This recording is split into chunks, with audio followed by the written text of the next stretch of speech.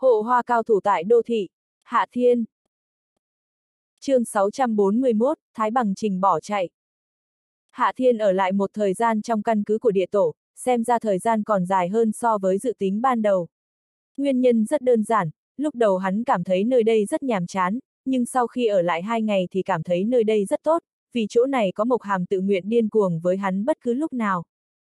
Bây giờ Hạ Thiên cũng bị Mộc Hàm ném cho danh hiệu huấn luyện viên, ngẫu nhiên hắn sẽ đến chỉ dạy cho những thành viên mới của địa tổ, điều này làm cho đám thành viên kia cực kỳ vui sướng. Hạ Thiên chỉ dạy làm bọn họ thu được nhiều lợi ích, tuy nhiều lắm hắn chỉ dạy được nửa giờ nhưng vài ngày trôi qua cũng làm thực lực đám người tiến triển nhanh. Những người này vốn đã có cơ sở rất tốt, bây giờ được Hạ Thiên chỉ bảo có thể đơn giản tìm ra ưu điểm và nhược điểm của bản thân, sau đó hắn lại chỉ dạy để bọn họ dần đánh tan khuyết điểm, ưu điểm bộc phát, thực lực phát triển mạnh.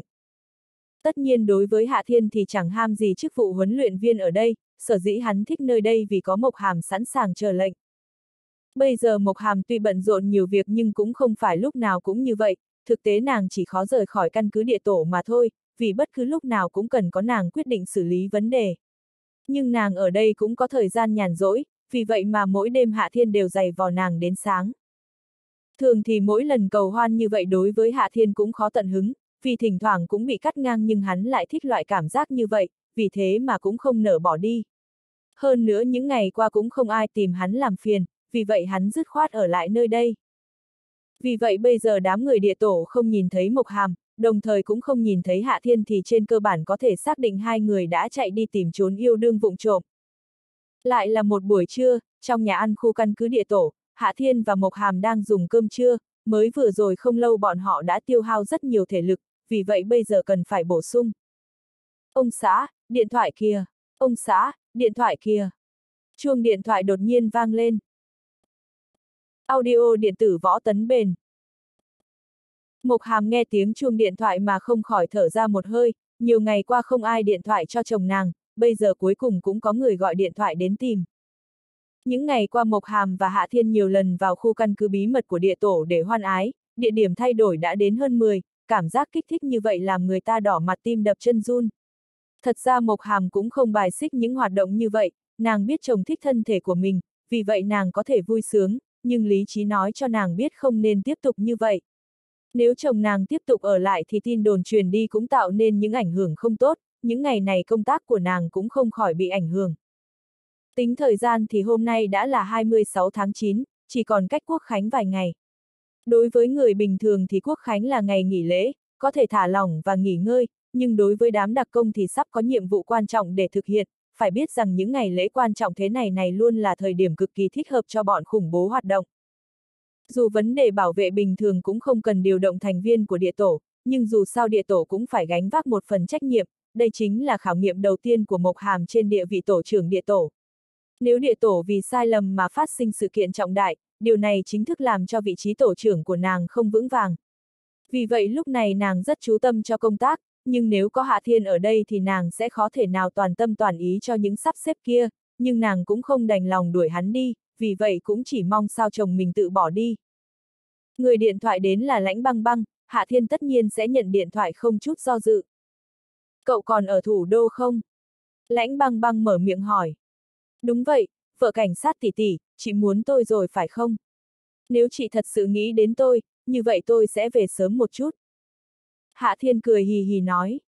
Lãnh băng băng không trả lời vấn đề của Hạ Thiên, nàng hỏi lại một câu. Cậu biết vì sao Thái Bằng Trình chạy mất không? Thái Bằng Trình sao? Hạ Thiên chợt sững sờ. Vợ cảnh sát tỷ tỷ, chị nói tên thái tử ngu ngốc kia chạy mất sao? Không phải tôi vừa bắt hắn lại à? Tôi cũng vừa biết chuyện này, lần trước cậu bắt được hắn, tôi đã báo cáo cho cục trưởng Hào, sau đó tôi không quan tâm đến nữa, dù sao thì công an tỉnh phụ trách vụ án này, không cần lãnh băng băng tôi nhúng tay vào. Lãnh băng băng nói. Nhưng vừa rồi cục trưởng Hào gọi điện thoại đến nói cho tôi biết, Thái Bằng Trình đã bỏ chạy. Vì sao lại bỏ chạy? Đám cảnh sát thủ đô này đúng là quá vô dụng. Hạ Thiên có chút bất mãn. Sớm biết như vậy thì tôi sẽ trực tiếp xử lý hắn.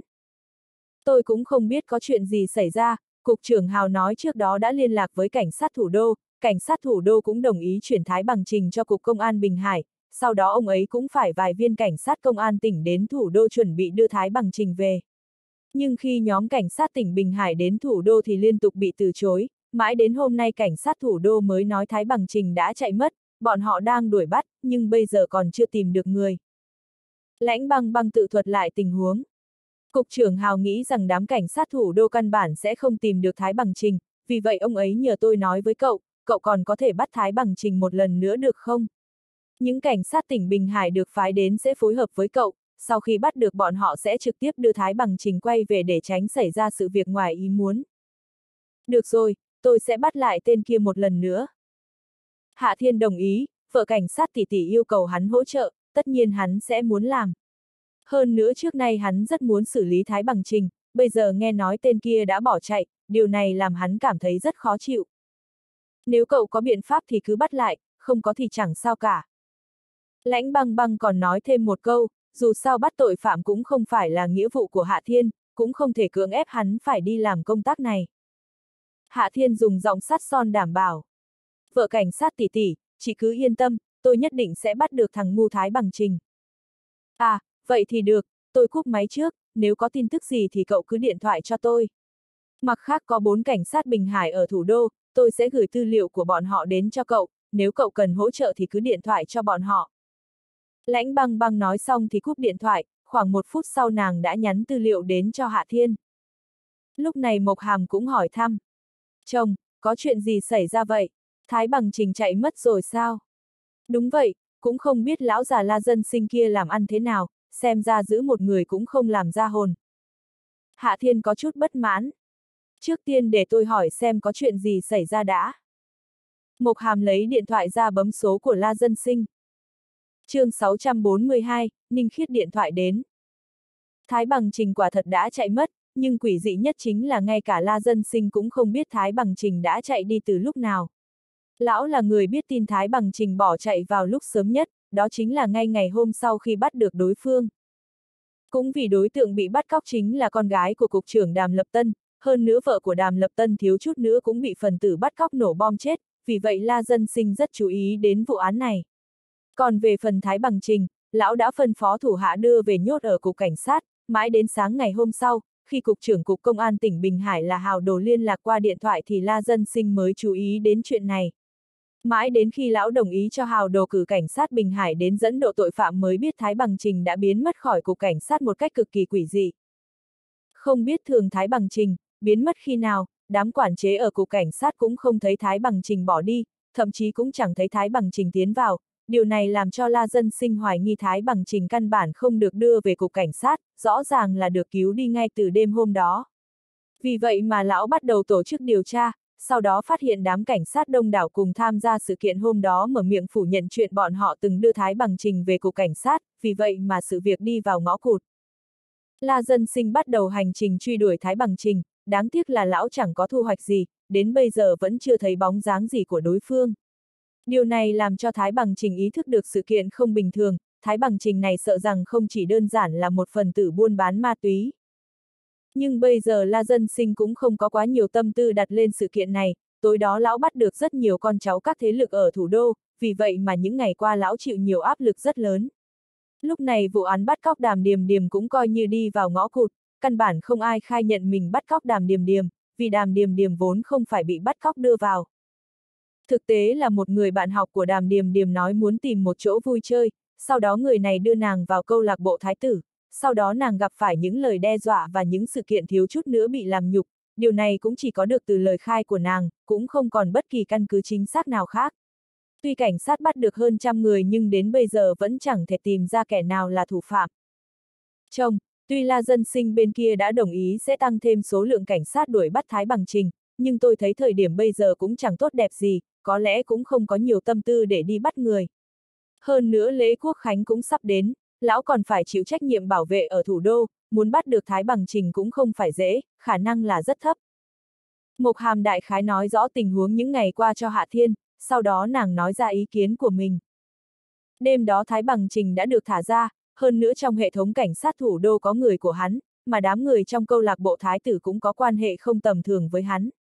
Đám người kia sợ rằng đang âm thầm giúp đỡ Thái Bằng Trình, vì vậy mà đám cảnh sát thủ đô căn bản khó thể bắt hắn lại được. Tôi đã sớm biết đám cảnh sát này không dùng được, trước đó để bọn họ đi tìm chị cũng không có tin tức gì, cũng không bằng tôi lợi dụng hắc bang đi tìm chị. Hạ Thiên rất xem thường đám cảnh sát thủ đô, bọn này phần lớn là vô dụng, hắn bắt được người nhưng bọn họ rõ ràng lại thả ra, hơn nữa còn khó thể bắt lại được. Bây giờ đã vài ngày trôi qua, cũng chẳng biết Thái Bằng Trình còn ở lại thủ đô nữa không. Mộc Hàm nhíu mày. Nhưng nếu nói theo lý thì hắn còn phải ở thủ đô mới đúng, dù sao trước đó hắn bị truy nã và lựa chọn thủ đô, như vậy phải là hắn cảm thấy thủ đô an toàn. Lần này hắn xảy ra chuyện, chắc chắn hắn sẽ không rời khỏi nơi đây. Trước tiên tôi điện thoại cho tiểu hắc cái đã. Hạ Thiên lập tức điện thoại cho Bạch Tiểu Lỗi, bây giờ hắn cảm thấy tiểu đệ Bạch Tiểu Lỗi của mình đáng tin hơn bất kỳ đám cảnh sát nào ở thủ đô. Hạ Thiên vừa điện thoại xong, hắn cúp điện thoại, ngay sau đó điện thoại lại vang lên. Alo, ai vậy? Hạ Thiên nhận điện thoại, vài ngày trước không ai tìm hắn, bây giờ thì khác biệt. Tôi là Ninh Khiết. Đầu dây bên kia vang lên một giọng nói không xa lạ gì với Hạ Thiên. Hạ Thiên có chút kỳ quái. Là cô sao, cô tìm tôi làm gì? Không phải cậu đã đồng ý sẽ chữa bệnh cho ông chủ trong công ty của tôi sao? Ninh Khiết có vẻ tức giận. Đã lâu như vậy mà cậu còn chưa đến giúp ông ấy sao? À, việc này sao? Tôi sẽ đi là được. Hạ Thiên thuận miệng đồng ý, dù hắn không có hứng thú với vấn đề này, nhưng chuyện gì hắn đã đồng ý thì sẽ làm. Còn nữa, đêm nay cậu có rảnh không? Ninh Khiết lại hỏi. Tôi muốn mời cậu một bữa cơm. Cô muốn mời cơm. Hạ Thiên rất kỳ quái. Sao một cô gái keo kiệt như cô lại mời tôi dùng cơm? Tôi không phải người keo kiệt. Ninh Khiết phản bác rất bất mãn. Cậu chữa mắt và chân cho tôi, bây giờ tôi mời cậu một bữa cơm cảm ơn không được sao? Nếu cậu không muốn cũng chẳng sao. Ăn cơm không có vấn đề, nhưng tôi phải nói trước, đến lúc đó tôi ăn nhiều một chút thì cô cũng đừng đập đầu vào tường. Hạ Thiên nghiêm trang nói. Cậu đập đầu vào tường thì có, tôi sẽ không đập đầu vào tường. Ninh Khiết tức giận nói một câu, sau đó nàng cúp điện thoại. Mộc Hàm ở bên cạnh hỏi. Chồng, ai mời cậu dùng cơm vậy? À, là cô gái keo kiệt Ninh Khiết. Hạ Thiên có chút khó hiểu. Đúng là kỳ quái, sao cô ta lại muốn mời tôi dùng cơm? Lần trước tôi chỉ ăn mất của cô ta vài gói mì, cô ấy đã đập đầu vào tường rồi. Có lẽ cô ấy muốn cảm tạ ơn cứu chữa của cậu. Mộc Hàm suy nghĩ rồi nói. Hạ Thiên gật đầu. Cô ấy cũng nói như vậy, mà cũng không cần quan tâm nhiều, tôi đi ăn là được. Hạ Thiên dừng lại một chút rồi nói thêm. Đúng rồi, vợ, tôi đã đồng ý đến xem bệnh cho ông chủ của Ninh Khiết, bây giờ tôi sẽ đi, khi nào tôi rảnh sẽ quay về ngay. Mộc Hàm gật đầu. Chồng, tôi lái xe đưa cậu ra ngoài nhé. Không cần, tôi tự đi là được. Hạ Thiên cười hì hì nói. Vợ cứ nghỉ ngơi cho tốt, vừa rồi chị đã rất mệt mỏi rồi. Gương mặt Mộc Hàm khẽ đỏ lên, không lâu trước đó hai người bọn họ đã thử một tư thế rất khó, tư thế đó lại làm nàng mất rất nhiều thể lực. Hạ Thiên cuối cùng cũng bỏ đi, Mộc Hàm khẽ thở vào một hơi, đồng thời nàng cũng có chút cảm giác phiền muộn.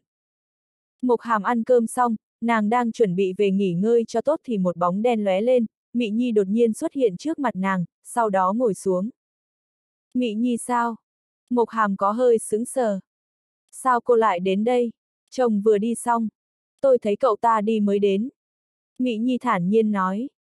Tôi muốn thương lượng với cô một chuyện. Chuyện gì? Mộc Hàm có chút kỳ quái. Tổ trưởng đang muốn trùng kiến ám tổ, anh ấy hy vọng Hạ Thiên có thể chấp trưởng và trùng kiến ám tổ, nhưng Hạ Thiên không muốn. Tôi hy vọng cô có thể thuyết phục Hạ Thiên, để cho cậu ấy tiếp nhận chức vị tổ trưởng ám tổ. Mỹ Nhi mở miệng nói ra yêu cầu của mình. chương 643, hai người đẹp bí mật thương lượng. Chuyện này sao, thật ra chồng cũng có nói với tôi. Mộc Hàm khẽ trả lời. Mỹ Nhi, tôi, tôi cũng không gạt cô, tôi so với cô lại càng hy vọng chồng có thể tiếp quản ám tổ hơn, vài ngày qua tôi đã khuyên cậu ấy, nhưng cậu ta vẫn không muốn, vì vậy chúng ta cần suy nghĩ biện pháp khác. Cô có biện pháp gì tốt không? Mỹ Nhi vội vàng hỏi. Cô hiểu cậu ấy hơn tôi, cô nhất định có thể nghĩ ra biện pháp chứ? Tôi có thể thấy chồng thật sự không có chút hứng thú với vị trí tổ trưởng ám tổ. Mộc Hàm suy nghĩ rồi nói. Nếu muốn làm cậu ấy tình nguyện làm tổ trưởng ám tổ, trừ khi trong ám tổ có thứ gì đó hấp dẫn cậu ấy. Tôi thấy cậu ta căn bản không có hứng thú với bất kỳ vấn đề gì, chỉ có hứng thú với người đẹp mà thôi. mỹ Nhi tức giận nói. Mộc Hàm không khỏi nở nụ cười. mỹ Nhi, cô cũng hiểu chồng rồi đấy, nói thật nhé, bây giờ chồng rất thích cô, nếu cô dùng chính mình uy hiếp cậu ấy, sợ rằng cậu ấy sẽ đồng ý. Cậu ấy không phải yêu thích gì tôi, chỉ cần là phụ nữ xinh đẹp thì cậu ấy thích sạch. Mị Nhi khẽ hừ một tiếng. Cũng không phải, ánh mắt của chồng rất cao, trên đời này có không ít người đẹp, nhưng muốn để cho chồng vừa ý thì cũng không nhiều. Mộc Hàm mỉm cười. Tất nhiên chồng cũng không phải loại người khó thuyết phục, vấn đề là ở chỗ dùng biện pháp nào để thuyết phục. Tôi từng nghe nói đàn ông cần phải lừa đảo, tôi cũng không biết người khác là thế nào, nhưng đối với chồng thì chiêu này khá hiệu quả. Tôi cũng không muốn gạt cậu bé. Mỹ Nhi tức giận nói, rõ ràng Mộc Hàm đưa ra một ý kiến không tốt đẹp gì. Mỹ Nhi, cô nói vậy là sai rồi, tôi không nói cô xem chồng như một đứa trẻ và dở trò lừa gạt, cô phải xem cậu ấy là một người đàn ông. Mộc Hàm cười nói, tôi cũng không muốn gạt đàn ông. Mỹ Nhi có chút mất hứng. Cô biết rõ như vậy sao không lừa cậu ta? Sao không ra tay ép cậu ta đồng ý chuyện này? Tôi có thể lừa cậu ấy đồng ý sao? Cũng không dễ dàng như vậy, nhưng nếu có cô phối hợp, tôi nghĩ rằng sự việc sẽ đơn giản hơn nhiều. Mộc Hàm khẽ cười. Nhưng, Mỹ Nhi, thật ra những ngày nay tôi cũng đã suy xét cẩn thận về vấn đề này, dù tôi hy vọng chồng chấp trường ám tổ, nhưng thực tế tôi cũng hiểu chồng không phải là nhân tuyển phù hợp cho chức vụ tổ trưởng ám tổ. Cô cũng nghĩ như vậy sao? Mỹ Nhi hình như có chút kinh ngạc. Thật ra tôi cũng cảm thấy như vậy, nhưng đây là tâm nguyện của tổ trưởng, Hạ Thiên là đồ đệ duy nhất của ám hoàng năm xưa. Sự kia ám hoàng đã trao ám tổ cho tổ trưởng, bây giờ tổ trưởng hy vọng có thể trả lại ám tổ cho đệ tử ám hoàng. Tuy tôi cảm thấy Hạ Thiên không phải là nhân tuyển phù hợp nhưng cũng hy vọng tổ trưởng có thể đạt thành tâm nguyện. Thật ra, Mỹ Nhi, cô có nghĩ đến một biện pháp điều hòa chưa? Mộc Hàm có hơi trầm ngâm rồi hỏi. Cái gì là biện pháp điều hòa? Mỹ Nhi hỏi. Mộc Hàm quay đầu nhìn ngang dọc, sau đó nàng hạ thấp âm thanh. Thật ra chồng không muốn làm tổ trưởng ám tổ cũng vì nghĩ rằng rất bận rộn, cả ngày đều phải làm việc. Cậu ấy không thích làm việc, chỉ thích chơi, nếu chúng ta có thể nói rõ sau khi cậu ấy lên làm tổ trưởng ám tổ cũng không cần làm gì, như vậy thuyết phục sẽ dễ dàng hơn nhiều. Mỹ Nhi có chút mơ hồ. Điều này sao có thể? Tổ trưởng ám tổ có trách nhiệm trọng đại, vì sao không cần làm việc? Không phải không có biện pháp, ví dụ chồng là tổ trưởng ám tổ trên danh nghĩa, nhưng thực tế thì những chuyện của ám tổ cũng không cần cậu ấy đi làm, chúng ta có thể thiết lập một chức vụ phó tổ trưởng, mà phó tổ trưởng sẽ do tổ trưởng Triệu Minh Phong đảm nhiệm. Lúc đó cô chấp trưởng thiên tổ, tôi quản lý địa tổ, như vậy chồng cũng chẳng cần phải làm gì. Mục Hàm rõ ràng có ý nghĩ với vấn đề này.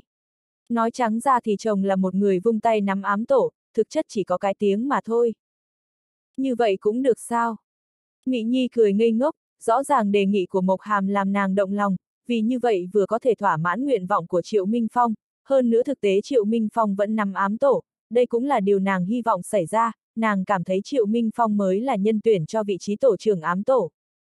Chỉ cần tổ trưởng Triệu thấy phương án này khả thi thì không có vấn đề gì, tôi tin như vậy chồng sẽ đồng ý. Mộc Hàm lại tin tưởng 10 phần với phương án của mình. Tất nhiên để tránh cho người ta nói này nọ, chồng cũng không phải hoàn toàn chẳng làm gì, ngoài chức vụ tổ trưởng ám tổ trên danh nghĩa, tôi nghĩ rằng còn phải cho cậu ấy một chức vị nữa. Chức vị gì? Mỹ Nhi vội vàng hỏi. Cô nên biết, lần này chồng ở lại nơi đây không ít ngày, những ngày qua cậu ấy còn kiêm luôn nhiệm vụ huấn luyện viên của địa tổ. Mộc Hàm nói. Mỹ Nhi gật đầu, chuyện này nàng biết. Những ngày này thành viên địa tổ phát triển rất mạnh, có thể nói chồng rất thích hợp làm huấn luyện viên. Lần này chồng chỉ dạy cho bọn họ kỹ thuật cận chiến, thực tế chồng còn hiểu rất nhiều thứ, ví dụ như kỹ thuật bắn súng, đao pháp, tất cả đều xuất sắc. Nếu cậu ấy tình nguyện làm huấn luyện viên cho thành viên ám tổ, như vậy tuyệt đối không phải vấn đề. Mộc Hàm nhanh chóng nói. Đến lúc đó sợ rằng ám tổ sẽ ngày càng mạnh. Mỹ Nhi suy nghĩ một lúc rồi gật đầu. Ý kiến này rất tốt, nhưng vấn đề là vừa rồi không phải cô nói không cho cậu ta làm gì sao. Để cậu ta ngẫu nhiên làm huấn luyện viên thì còn có thể, bây giờ bắt cậu ta làm huấn luyện viên thật sự, như vậy có khả năng không? Không cần cậu ấy liên tục làm huấn luyện viên, chỉ cần mỗi năm lại đây nghỉ ngơi một tháng là được. Mộc Hàm nói, nhưng cậu ta sẽ đồng ý mỗi năm vào đây một tháng sao? Mị Nhi càng khó tin điều này. Mộc Hàm khẽ cười với Mộc Hàm. Chẳng lẽ cô cảm thấy hai người chúng ta ở cùng một chỗ không có chút sức quyến rũ với cậu ấy sao? Có ý gì? Mị Nhi không kịp phản ứng.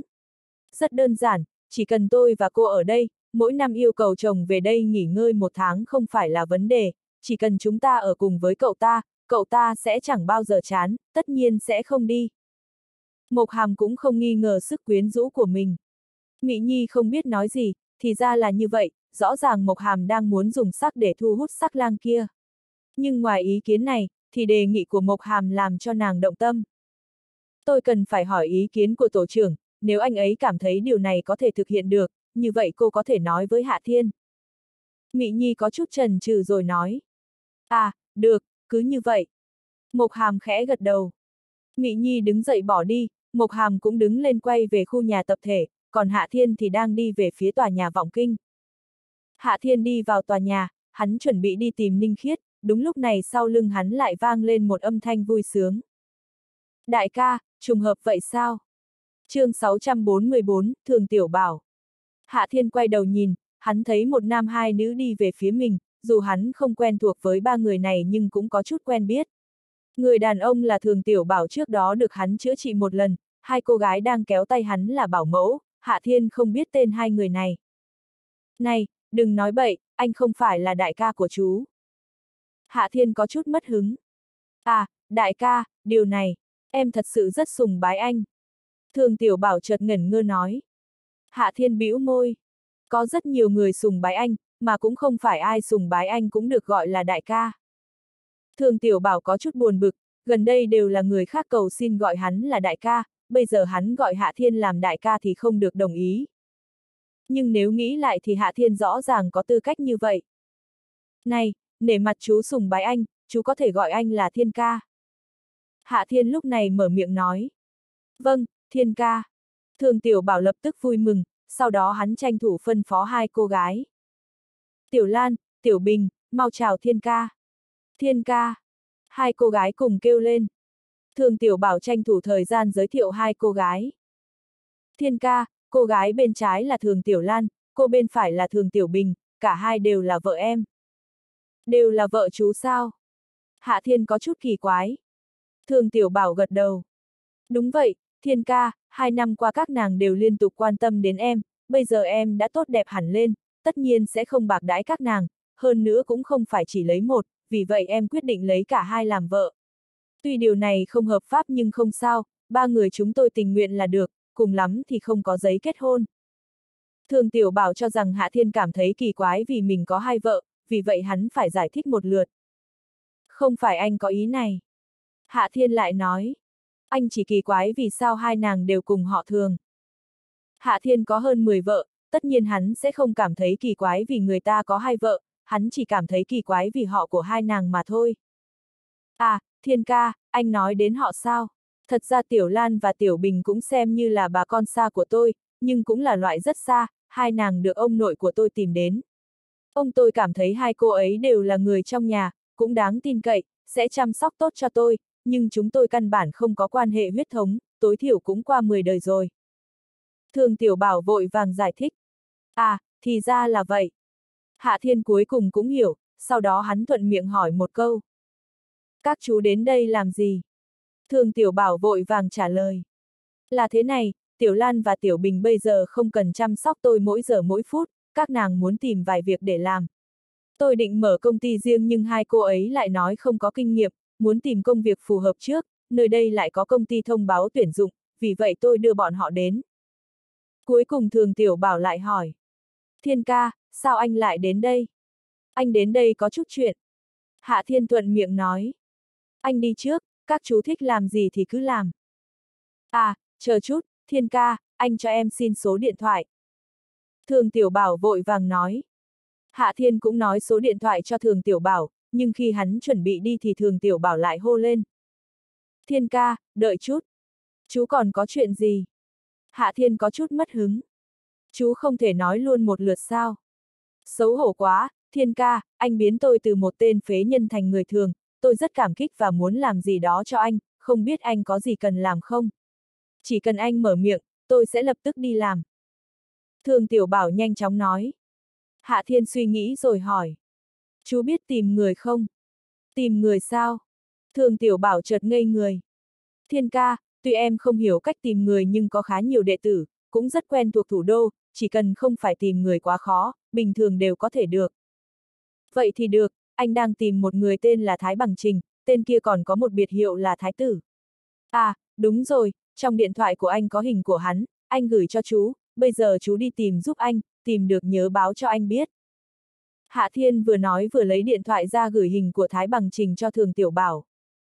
Thiên ca, anh yên tâm, chỉ cần tiểu tử kia còn ở thủ đô, dù hắn trốn dưới váy của phụ nữ, em cũng có thể lôi đầu hắn ra cho anh. Thường Tiểu Bảo vỗ ngực đảm bảo. Không có gì nữa chứ? Không có gì thì anh đi đây. Hạ Thiên hỏi, hắn cũng không quá đặt nặng lời vỗ ngực đảm bảo của Thường Tiểu Bảo. Không còn gì, không còn gì, Thiên ca đi thong thả. Thường Tiểu Bảo cũng không ngốc, hắn thấy Hạ Thiên mất kiên nhẫn, vì vậy lúc này dù còn việc cũng không dám nói ra. Hạ Thiên xoay người đi lên lầu, hắn cũng lười đi thang máy mà trực tiếp chạy thang bộ, ngay sau đó đã lên đến công ty thời trang y nhân. Hạ Thiên đi đến bên cạnh Ninh Khiết rất thuận đường, bây giờ Ninh Khiết đang ngủ gục trên bàn, hắn vỗ vai nàng nói. Này, keo kiệt, thức dậy, ban ngày ngủ nghỉ gì? Đã nói tôi không phải là keo kiệt. Ninh Khiết vốn cũng không phải đã ngủ, nàng ngẩng đầu nhìn Hạ Thiên, bộ dạng có chút tức giận. Còn nữa, cậu không thấy tất cả đều đang nghỉ chưa sao? Sao không để tôi nghỉ một lúc? Này, cô không giống, cô không cần ngủ chưa? Hạ Thiên thuận miệng nói. Ninh khiết ngây người, hắn nói vậy là có ý gì? Sao hắn không biết nàng chẳng cần nghỉ chưa? Trước kia đến trưa thì nàng cũng cảm thấy rất buồn ngủ, nhưng những ngày này nàng cảm thấy tinh thần của mình là rất tốt, thật sự không cần ngủ trưa, vì vậy nàng nằm gục đầu trên bàn nửa giờ mà vẫn chưa thể ngủ. Ông chủ của cô đâu? Hạ Thiên lúc này hỏi. Đang ngủ trưa bên trong. Ninh Khiết chỉ vào phòng làm việc đóng cửa nói. Cô đi gọi hắn ra, tôi không có tâm tình chờ đợi. Hạ Thiên nói. Ai bảo cậu đến sớm như vậy? Ninh Khiết tức giận nói, người này không biết đến xem bệnh cho giám đốc vào lúc chiều rồi đi ăn tối với nàng luôn một thể sao. Cô không gọi thì tôi đi đấy. Hạ Thiên có chút mất hứng. Được rồi, tôi đi gọi. Ninh Khiết không có biện pháp, nàng chỉ biết đứng dậy đi về phía phòng làm việc đóng cửa. Nhưng khi nàng vừa đi đến cửa, đang định gõ cửa thì vẻ mặt chợt đỏ ửng, nàng vội vàng quay lại.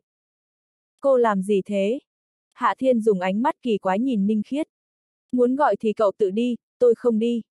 Ninh Khiết chừng mắt nhìn Hạ Thiên, tất cả đều do người này làm cho thính lực của nàng tốt hẳn lên, vì vậy mà nàng nghe rõ ràng những âm thanh rền rĩ vui sướng của Trương Cửu Kim và Đỗ Tinh ở bên trong. Vậy thì thôi, tôi không muốn xem bệnh cho hắn. Hạ Thiên cũng không quá hảo tâm. Tôi đi trước, tối nay sẽ tìm cô ăn tối. Này, cậu! Ninh Khiết vừa nói được hai chữ thì Hạ Thiên đã biến mất trong tầm mắt của nàng. chương 645, trục chặt thang máy. Thật ra Hạ Thiên nghe được tiếng gọi của Ninh Khiết nhưng căn bản không quan tâm, tuy hắn bây giờ rời khỏi công ty y nhân và không biết đi đâu, nhưng hắn cảm thấy dù đi dạo một mình vẫn còn tốt hơn ở lại chờ ở chỗ kia. Vài ngày không gặp vợ Mị Mị, không biết bây giờ có nhớ mình không? Hạ Thiên lầm bầm, hắn bắt đầu muốn tìm Tống Ngọc Mị để xây dựng cảm tình. Hạ Thiên nghĩ gì làm nấy, nhưng hắn vừa đi lên được hai bước thì đã ngừng lại, bóng người trước mặt sao quen thuộc như vậy. Một nam hai nữ đang đứng đợi ở cửa thang máy, trong đó có một người phụ nữ cao gầy xinh đẹp cực kỳ quen thuộc với Hạ Thiên. Đặc biệt là cặp mông vểnh lên trời, thứ đó làm cho Hạ Thiên phải xem xét rất lâu. Hạ Thiên lóe người đi đến bên cạnh người phụ nữ, sau đó hắn lập tức vui sướng. Chị Vân Thanh, đúng là chị sao? Cô gái này chính là nữ luật sự nổi tiếng thành phố Giang Hải, là Vân Thanh, nàng vẫn mặc một bộ trang phục công sở rất bảo thủ, nhưng cách ăn mặc mày vẫn không thể che giấu được bộ dáng trưởng thành mê người. Hơn nữa nàng còn có cặp mắt sách rất đẹp, đồng thời bên trong còn có chút u buồn, có thể nói là hút hồn người đối diện. Hạ tiên sinh, là cậu à? Vân Thanh thấy Hạ Thiên thì tương đối kinh ngạc, nếu nói thật lòng thì nàng không muốn thấy hắn, vì nàng biết hắn vẫn còn mưu đồ làm loạn. Nhưng nàng đến thủ đô mà lại gặp Hạ Thiên, điều nàng không khỏi làm nàng cảm khái, thế giới này đúng là quá nhỏ. Chị Vân Thanh, chị làm gì ở đây vậy? Hạ Thiên dùng giọng kỳ quái hỏi. Vào đây làm chút chuyện. Vân Thanh trả lời, sau đó nàng di chuyển chủ đề. Đúng rồi, Hạ tiên sinh, về vụ án của cậu, tòa án đã thông báo sẽ mở phiên tòa, thời điểm là sau lễ quốc khánh. Vài ngày trước tôi định thông báo cho cậu nhưng không liên lạc qua điện thoại được. À, chị Vân Thanh, tôi vừa mới đổi số. Hạ Thiên nhanh chóng nói. Tôi sẽ đưa số mới cho chị. Được. Vân Thanh cũng không từ chối, dù sao bây giờ Hạ Thiên cũng là thân chủ của nàng, nếu không có phương thức liên lạc với nhau thì không tốt. Luật sư Vân, thang máy đến rồi. Lúc này một cô gái ở bên cạnh Vân Thanh chợt mở miệng nói, người này hơn 30, ngũ quan coi như đoan chính, dáng người cũng thuộc loại khá. Nhưng người đàn ông khoảng 40 đi cùng Vân Thanh và người phụ nữ này lại có dáng người trung bình, so ra rất bình thường. Thang máy trống không, bên trong chẳng có ai, bốn người cùng đi vào, Vân Thanh lấy điện thoại ra lưu số máy của Hạ Thiên. Thang máy bắt đầu di chuyển, sau đó nhanh chóng dừng lại ở tầng 5, cửa mở, có 7-8 người tiến vào. Lúc này trong thang máy trở nên chen chúc, Vân Thanh và Hạ Thiên bị đẩy vào một góc. Cửa thang máy đóng lại, thang máy bắt đầu chuyển động, đúng lúc đến lầu 4 thì một tiếng nổ lớn vang lên, sau đó thang máy nhanh chóng rơi xuống. Á! À, thang máy hỏng rồi! Cứu mạng! Trong thang máy vang lên những tiếng kêu sợ hãi, Vân Thanh chợt căng thẳng, đúng lúc này nàng chợt cảm thấy có một cánh tay có lực ôm lấy eo mình, đồng thời bên tai còn vang lên một âm thanh quen thuộc. Chị Vân Thanh, chị đừng sợ, có em ở đây, chị sẽ không việc gì. Vân Thanh vốn đang sợ hãi vì mình đang rơi xuống, đúng lúc nàng cảm thấy mình như dừng lại ở đất bằng, giống như thang máy chưa từng có hư hỏng. Hạ tiên sinh, xin thả ra. Vân Thanh không thích ôm ấp thân mật với Hạ Thiên, vì vậy nàng khẽ kháng nghị. Chị Vân Thanh, nếu tôi buông chị ra, chị sẽ té bị thương. Hạ Thiên tất nhiên sẽ không buông Vân Thanh ra, cơ hội tốt như vậy thì hắn sao có thể bỏ qua được. Hắn chẳng những không buông, hơn nữa còn dứt khoát ôm chặt lấy nàng, thân thể hai người dán chặt vào nhau, hắn trực tiếp cảm nhận được thân thể mềm mại của Vân Thanh. Vân Thanh còn muốn nói gì đó thì một tiếng nổ vang lên, thang máy dừng lại, bên trong vang lên những tiếng kêu gào thảm thiết, thậm chí nàng còn ngửi thấy mùi máu tươi. Lúc này ánh đèn trong thang máy cũng tắt, tuy vẫn là ban ngày nhưng bên trong rất âm u. Cửa thang máy không mở ra, làm sao bây giờ? Mau kêu cứu. Chuông cứu hộ cũng hỏng rồi, không có phản ứng. Chân tôi đau quá, hình như gãy mất rồi. Đầu tôi chảy máu, cứu mạng. Đám người trong thang máy có vẻ rất kinh hoàng, chấn định chỉ có hai người duy nhất, đó chính là Hạ Thiên và Vân Thanh. Hạ Thiên chấn định thì không cần phải nói, còn Vân Thanh, nàng chấn định chẳng qua từ đầu đến cuối chẳng việc gì cả, không có cảm giác không đúng. Tất nhiên thực tế thì nàng cũng không quá chấn định, nhưng nàng không phải lo nghĩ về vấn đề thang máy trục chặt, vì Hạ Thiên ôm nàng, điều này làm nàng sinh ra cảm giác khác thường. Luật sư Vân, chị, chị không sao chứ? Bên cạnh vang lên giọng một người đàn ông. Tôi không sao, các anh thế nào? Vân Thanh vội trả lời. Chân tôi có hơi đau, nhưng có lẽ cũng không gãy xương. Người đàn ông trả lời. Tay tôi hình như đã bị gãy. Một giọng nữ vang lên. Luật sư Vân, làm sao bây giờ? Sẽ có người đến cứu chúng ta chứ? Có lẽ là vậy, đợi một chút là được. Vân Thanh an nủi người phụ nữ. Chị Vân Thanh, không cần chờ người đến cứu. Hạ Thiên lúc này mở miệng nói. Để tôi mở cửa thang máy ra, chúng ta có thể ra ngoài. Cậu có thể mở cửa thang máy ra sao? Vân Thanh không khỏi hỏi. Tất nhiên, có gì tôi làm không được. Hạ Thiên bắt đầu khoác lác. Vân Thanh không cho là đúng, nghe nói đàn ông đều thích khoác lác, quả nhiên không sai, cậu bé luôn có ý với nàng cũng thích khoác lác. Này, các người nhường đường. Hạ Thiên nói một câu, sau đó hắn ôm Vân Thanh cưỡng chế gạt bỏ đám người phía trước. Lúc này hắn đã đi đến cửa thang máy, đến lúc này hắn cũng không có ý nghĩ buông lỏng Vân Thanh. Sau đó Hạ Thiên đặt hai tay lên cửa thang máy, Vân Thanh cảm thấy hắn không mất chút sức lực nào đã mở cửa thang máy ra. Khi cửa mở thì hắn ôm Vân Thanh lách ra, những người còn lại ở bên trong cũng chen chúc đi ra. Vân Thanh trợn mắt há mồm, người này thật sự không nói khoác, cửa thang máy đã bị hắn mở ra. Chị Vân Thanh, tôi lựa oi hại không? Hạ Thiên cười hì hì nói. Nhưng Hạ Thiên vừa mở miệng thì Vân Thanh kịp phản ứng, người này còn đang chiếm tiện nghi của nàng. Hạ tiên sinh, cậu thả tôi ra. Vân Thanh nói, giọng điệu có chút xấu hổ, nhưng nàng cũng không mắng người. Dù sao nàng nhìn đám người ra khỏi thang máy mà giật mình, tuy ai cũng còn sống nhưng ngoài nàng ra, không ai không khốn khổ, có người nào không đau đầu đau tay gãy chân chảy máu. Nàng biết mình không có vấn đề gì tuyệt đối là công lao của Hạ Thiên. chương 646, cái gọi là sinh sản vô tính. Hạ Thiên cuối cùng cũng lưu luyến thả Vân Thanh ra, lúc này bảo vệ tòa nhà cũng phát hiện bên này xảy ra chuyện, bọn họ vừa vội vàng hỏi thăm tình huống vừa điện thoại gọi xe cứu thương. Sự cố thang máy lần này có thể nói là may mắn trong bất hạnh, vì thang máy rơi xuống từ lầu 4, tuy ai cũng bị thương nhưng không nghiêm trọng, ít nhất thì ai cũng còn thanh tỉnh. Lần này xe cứu thương đến rất nhanh, một lúc sau mười mấy người vừa rồi đi thang máy đều cơ bản được đưa đến bệnh viện, kể cả hai người bạn đồng hành của Vân Thanh, người không đi chỉ có Vân Thanh và Hạ Thiên. Thực tế thì hai người không nói vừa rồi mình ở trong thang máy, những người khác cũng không nói, vì vậy đám bác sĩ y tá và bảo vệ tòa nhà cũng hoàn toàn không ngờ hai người này vừa rồi ở trong thang máy, tất nhiên cũng không biết Hạ Thiên là người mở cửa. Hạ Tiên Sinh, tôi còn có việc, tôi về khách sạn trước đây. Vân Thanh nói với Hạ Thiên, sau đó nàng rời khỏi tòa nhà vọng kinh, bắt taxi ngoài cổng. Nhưng khi nàng vừa ngồi lên taxi thì phát hiện người ngồi bên cạnh là Hạ Thiên. Đây không phải lần đầu tiên Vân Thanh thấy Hạ Thiên dùng chiêu này, lần trước ở Giang Hải, khi xảy ra chuyện thì nàng không thể đuổi Hạ Thiên xuống xe, nhưng lần này nàng quyết định không thỏa hiệp. Hạ tiên sinh, phiền anh xuống xe cho tôi. Giọng điệu của Vân Thanh có chút nặng nề.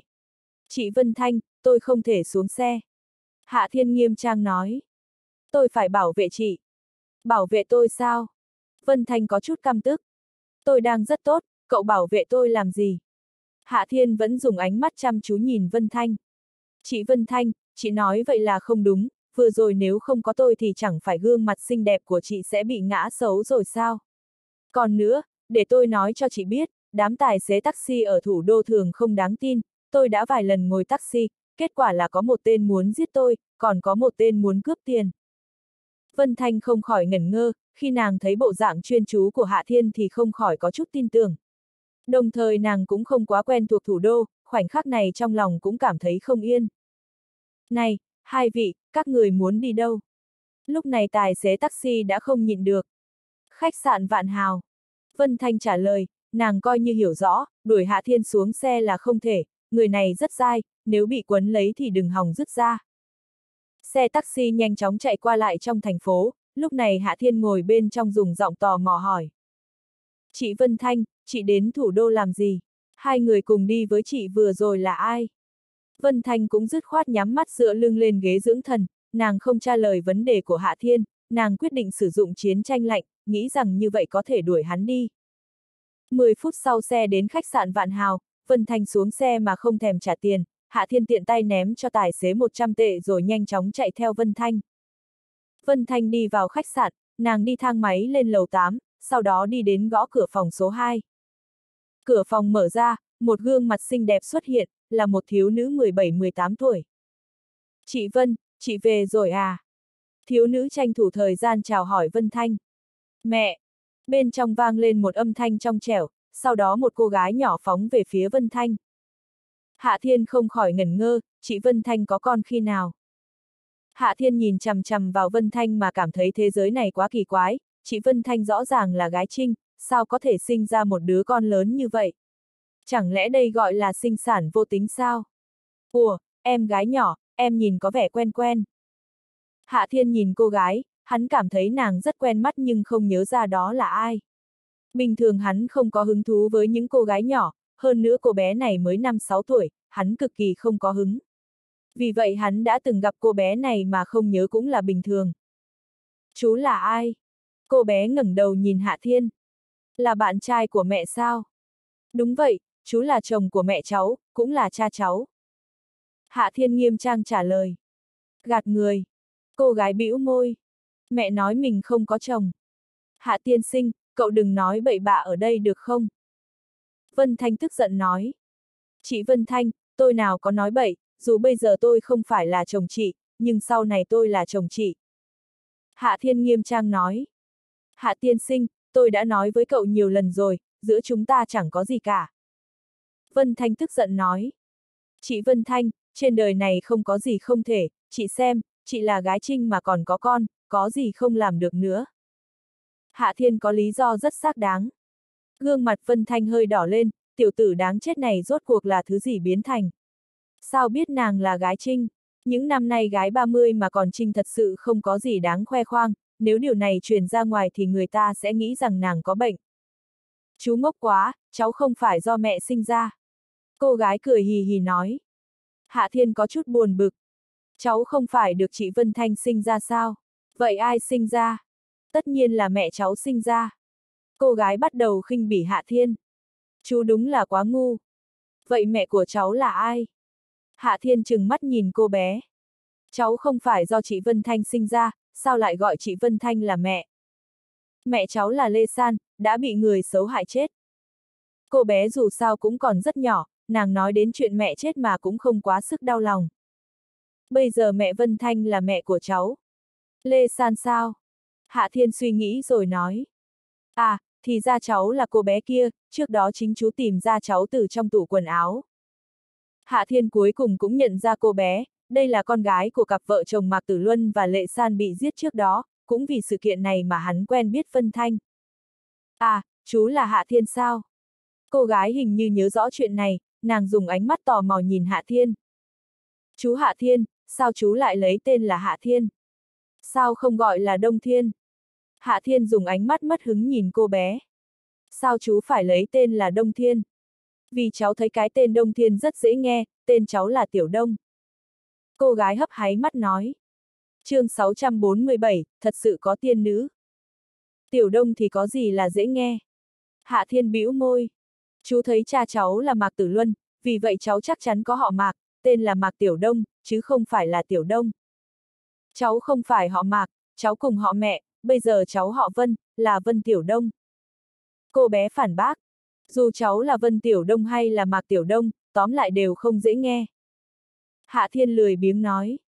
Tên của chú mới dễ nghe. Hừ, cháu không cãi với chú, cháu sẽ nói mẹ không thích chú. Vân Tiểu Đông quệt miệng nói. Đợi đến khi chú cướp mẹ cháu làm vợ, chú sẽ để chị ấy không nhớ đến cháu. Hạ Thiên cũng không tỏ ra yếu thế. Hu hu. Vân Tiểu Đông đột nhiên khóc giống lên. Chú là người xấu.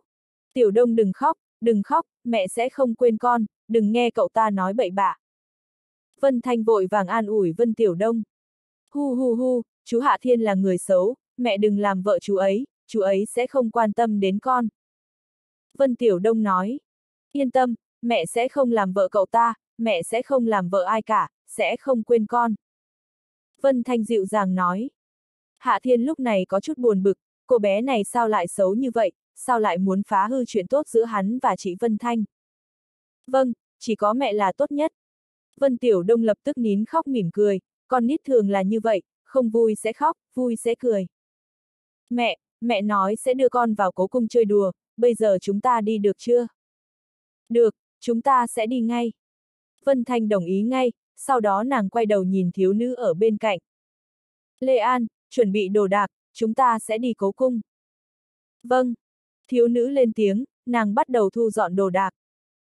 Hạ tiên sinh, lần này tôi đến thủ đô chủ yếu muốn đưa Tiểu Đông đi du lịch, lát nữa chúng tôi sẽ đi cố cung, nếu cậu không có việc gì thì cứ về trước. Vân Thanh lại ra lệnh tiễn khách với Hạ Thiên. Hạ Thiên trả lời rất nghiêm trang. Chị Vân Thanh, thật ra tôi cũng rất thích du lịch, tôi đến thủ đô đã lâu nhưng còn chưa đến thăm cố cung lần nào, bây giờ tôi sẽ đi với mọi người. Hạ Thiên rõ ràng đang nói dối, hắn căn bản không thích du lịch. Trước đó Mộc Hàm nói cùng hắn đi chơi, hắn nói không thích một cố cung vừa xấu vừa bẩn, không có gì để xem. Nhưng bây giờ hắn vất vả lắm mới gặp lại Vân Thanh, tất nhiên sẽ không để nàng chạy trốn, tuy cảm thấy cố cung chẳng có gì vui nhưng vẫn quyết định sẽ đến tham quan. Lúc này Vân Thanh không biết nên nói gì cho phải, trên đời sao có loại người thế này. Hắn không biết thức thời một chút sao. Nàng đã nói rất rõ ràng, sao hắn còn muốn đi theo. Cuối cùng Vân Thanh không thể nào đuổi Hạ Thiên đi, thực tế chỉ cần Hạ Thiên muốn đi theo thì nàng cũng không có biện pháp gì khác. Dù sao cố cung cũng không phải là nhà nàng, nàng có thể đi, tất nhiên Hạ Thiên cũng có thể đi, nàng dù không muốn cũng chẳng có biện pháp. Chủ yếu là Vân Thanh cũng không muốn quá tuyệt tình, dù sao Hạ Thiên cũng có lòng với nàng, khi nhìn Vân Tiểu Đông thì nàng cũng không tự giác được phải nhớ đến một vấn đề, nếu không có Hạ Thiên thì Mạc Tử Luân và Lệ San sẽ chết không rõ ràng. Vì vậy mà lúc này Vân Thanh quyết định thỏa hiệp, nếu Hạ Thiên muốn cùng đi đến cố cung thì cứ cho theo. Vì vậy mà một đoàn bốn người đến cố cung, tuy bây giờ chưa đến quốc khánh, không phải cao điểm du lịch nhưng trong cố cung vẫn rất đông khách. Dù là Hạ Thiên, Vân Thanh, còn có Lê An và Vân Tiểu Đông đều là lần đầu tiên đến cố cung, vì vậy Vân Tiểu Đông rất vui vẻ, Vân Thanh liên tục dùng máy chụp hình ghi lại những khung ảnh đẹp. Khi thấy nụ cười sáng lạn của Vân Tiểu Đông thì Vân Thanh cũng có chút vui vẻ, dù Vân Tiểu Đông còn nhỏ tuổi nhưng dù sao cũng đã lên năm, những đứa trẻ 5 tuổi cũng đã biết được khá nhiều chuyện, vì vậy nó cũng biết cha mẹ mình bị người ta giết chết. Điều đáng mừng duy nhất chính là lúc đó Vân Tiểu Đông không tận mắt thấy cha mẹ mình bị giết. Sau khi Mạc Tử Luân và Lê San gặp chuyện không may thì cha mẹ hai bên từ nông thôn lên thành phố Giang Hải xử lý công việc, sau khi lo xong chuyện hậu sự thì bọn họ định đưa Vân Tiểu Đông về nông thôn. Nhưng Vân Tiểu Đông không muốn đi, nàng gào khóc muốn ở lại. Sau đó Vân Thanh chủ động nói ra ý nghĩ muốn nuôi dưỡng Vân Tiểu Đông. Dù cha mẹ Mạc Tử Luân và Lê San cũng không tình nguyện, nhưng sau vài ngày thương lượng, hơn nữa bọn họ cũng thấy Vân Tiểu Đông thật sự yêu thích Vân Thanh nên cuối cùng mới đồng ý. Nhưng phía cha mẹ Lê San còn tìm Lê An đến hỗ trợ, đây là em gái bà con xa của Lê San, như vậy bọn họ mới yên tâm hơn. Những ngày nay tuy Vân Tiểu Đông biểu hiện rất bình thường nhưng Vân Thanh vẫn rất quan tâm, vì vậy lúc này nàng quyết định đưa Vân Tiểu Đông vào thủ đô du lịch, định ở lại chơi vài ngày, hy vọng làm như vậy sẽ giúp Vân Tiểu Đông vứt bỏ những chuyện không vui. Bây giờ nàng thấy Vân Tiểu Đông rất vui vẻ, vì vậy mà cũng không khỏi cảm thấy yên lòng, nhưng nàng vẫn cảm thấy rất lo lắng, Vân Tiểu Đông dù sao cũng còn quá nhỏ, tuy đã hiểu chút chuyện nhưng cha mẹ mất cũng tạo nên thương tổn tâm lý. Tiểu Đông, cười lên nào. Vân Thanh liên tục chụp ảnh cho Vân Tiểu Đông, nàng hy vọng có thể ghi lại thời gian vui vẻ ngắn ngủi của con nuôi. Này, mẹ, tiên nữ này. Vân Tiểu Đông đột nhiên gào lên có chút khoa trương. Ôi dào, nào có tiên nữ, chỉ trên tivi mới có tiên nữ thôi. Vân Thanh khẽ cười nói. Mẹ, mẹ, thật sự có tiên nữ, mẹ nhìn kìa. Vân Tiểu Đông chạy đến bên cạnh Vân Thanh, nàng kéo áo của mẹ, tất nhiên còn liên tục dùng tay chỉ trỏ, bộ dạng hưng phấn. Vân Thanh không khỏi quay đầu nhìn, sau đó nàng chợt ngẩn ngơ, cuối cùng nàng cũng thấy tiên nữ của Vân Tiểu Đông. Ngoài 10 thước có một người đẹp tuyệt sắc mặc cổ trang, nếu xét về dung mạo hay khí chất thì dù là Vân Thanh cũng có chút tự ti mặc cảm. Tuy Vân Thanh xinh đẹp nhưng chỉ là một cô gái phàm tục nhân gian, người đẹp cổ trang kia lại làm người ta sinh ra cảm giác tiên nữ, đúng là tiên nữ không nhiễm khói lửa nhân gian. Kìa, mẹ, tiên nữ đi đến kìa. Vân Tiểu Đông lại hưng phấn nói. Vân Tiểu Đông nói không sai, người đẹp cổ trang đang đi về phía bên này. Vân Thanh đang cảm thấy rất kỳ quái thì một người tiến lên nghênh đón người đẹp cổ trang, sau đó làm ra một động tác kinh người, hắn ôm lấy người đẹp cổ trang vào lòng. Trời, chú xấu xa đang sàm sỡ với tiên nữ. Vân Tiểu Đông gào lên, người ôm tiên nữ cổ trang không ai khác mà chính là Hạ Thiên. Hạ Thiên lúc này đang cười hì hì với người đẹp cổ trang. Vợ mị mị, chị biết tôi đến đây nên cố ý đến tìm sao. Người đẹp cổ trang này chính là Tống Ngọc Mị, khóe miệng nàng có hơi co rút, nàng không thể thoát khỏi cái ôm của Hạ Thiên, vì vậy cũng không muốn vùng vẫy mà nói. Đúng vậy, tôi cố ý đến tìm cậu. Hạ Thiên trừng mắt. Vợ mị mị, chị thật sự nghĩ đến tôi sao? Tôi tìm cậu có việc. Tống Ngọc Mị nhìn Vân Thanh. Nhưng bây giờ cậu có vẻ không rãnh nhỉ. chương 648, ước nguyện. Vợ mị mị, chị tìm tôi có chuyện sao? Hạ Thiên lại hỏi. Gấp lắm sao? Hạ Thiên lần này vất vả lắm mới gặp được Vân Thanh, hắn cũng không muốn bỏ đi như vậy, vì hắn cảm thấy nếu sự việc Tống Ngọc Mị mà không vội thì hắn cũng không cần đi lập tức, tối nay đi cũng được. Không vội, có một người bạn sức khỏe không được tốt muốn mời cậu xem bệnh dùm.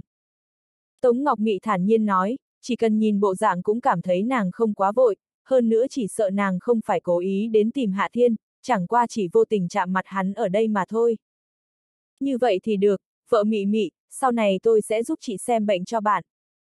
Hạ Thiên lập tức có quyết định. Trước tiên tôi đi dạo với chị Vân Thanh cái đã. Được rồi, tôi đi trước, tối nay sẽ tìm cậu. Tống Ngọc Mị nói, sau đó nàng vùng khỏi lồng ngực của Hạ Thiên rồi xoay người bỏ đi, từ đầu đến cuối nàng cũng không chào hỏi Vân Thanh, càng không hỏi xem Vân Thanh có quan hệ gì với Hạ Thiên. Hạ Thiên có chút vui sướng, vợ mị mị này đúng là hiểu lòng người. Vân Thanh có chút thất vọng, nàng trông cậy người đẹp cổ trang vừa xuất hiện sẽ bắt Hạ Thiên đi, nào ngờ Hạ Thiên vẫn còn ở lại. Vân Tiểu Đông cũng rất thất vọng, nàng nhìn chằm chằm vào bóng lưng của Tống Ngọc Mị rồi bĩu môi. Mẹ, chị tiên nữ cứ đi như vậy sao? Không nói với con lời nào cả à? Không sao, sau này chúng ta sẽ còn gặp lại cô ấy. Vân Thanh cũng chỉ biết an ủi Vân Tiểu Đông như vậy mà thôi. Đúng vậy, sau này chắc chắn còn gặp lại. Hạ Thiên ở bên cạnh bổ sung một câu. Có thật không? Vân Tiểu Đông nhìn Hạ Thiên, trợn trừng mắt. Chú xấu xa, chú rất quen thuộc chị tiên nữ sao? Cô ấy là vợ chú, tất nhiên là rất quen. Hạ Thiên trả lời. Vân Tiểu Đông dùng ánh mắt khó hiểu nhìn Hạ Thiên. Chú xấu xa, chú đã có chị tiên nữ là vợ, sao còn muốn cướp cả mẹ cháu? Mẹ cháu cũng không làm vợ bé cho chú đâu nhé. Vì chú thích chị Vân Thanh, vì vậy muốn cướp làm vợ, đơn giản vậy thôi. Hạ Thiên nhanh chóng nói. Nhưng, một người không được có hai vợ. Vân Tiểu Đông nghiêm trang nói, bộ dạng rất giống người lớn. Chú xấu xa, chú chẳng lẽ không biết điều này sao? À, chú nào chỉ có hai vợ? Hạ Thiên không phản bác, hắn sao lại có hai vợ? Ít nhất cũng là hai mươi vợ. Mẹ, chú xấu xa quá lăng nhăng, mẹ đừng yêu chú ấy, đây không phải là người tốt. Vân Tiểu Đông kéo tay Vân Thanh nũng nịu nói. Được rồi, Tiểu Đông, mẹ biết rồi, chúng ta tiếp tục vui chơi, không cần quan tâm đến cậu ấy. Vân Thanh không biết nói gì hơn, tất nhiên nàng biết Hạ Thiên rất lăng nhăng, nàng biết hắn có rất nhiều vợ, đừng nói là nàng vốn không có hứng thú với Hạ Thiên, dù nàng thật sự thích hắn thì cũng không thể tiếp nhận sự thật hoang đường như vậy. Con nít dù sao cũng là con nít, chúng thích nhất là chơi đùa, vì vậy mà Vân Tiểu Đông cũng nhanh chóng vùi đầu vào trong đủ loại trò chơi. Mẹ, đám người kia đang làm gì vậy? Sau khi nghịch ngợm một lúc lâu thì Vân Tiểu Đông mới chỉ vào một nhóm người nói. Vân Thanh ngẩng đầu nhìn lại, nàng thấy có nhiều người ném tiền xu vào trong ao, có vài người gương mặt tiểu tụy, miệng mấp máy như mặc niệm điều gì đó. Tiểu Đông, bọn họ đang ước nguyện. Vân Thanh khẽ giải thích với Vân Tiểu Đông. Đó là ao cầu nguyện, chỉ cần ném tiền xu xuống, sau đó thầm cầu nguyện, như vậy nguyện ước có thể thành hiện thực. Thật vậy sao? Vân Tiểu Đông cực kỳ hiếu kỳ, sau đó nàng duỗi ngón tay trắng nõn nói với Vân Thanh. Mẹ, cho con một đồng xu, con muốn đi ước nguyện. Vân Thanh không phản đối, thật ra nàng cũng không tin vào điều này, nhưng thử một lần cũng không sao.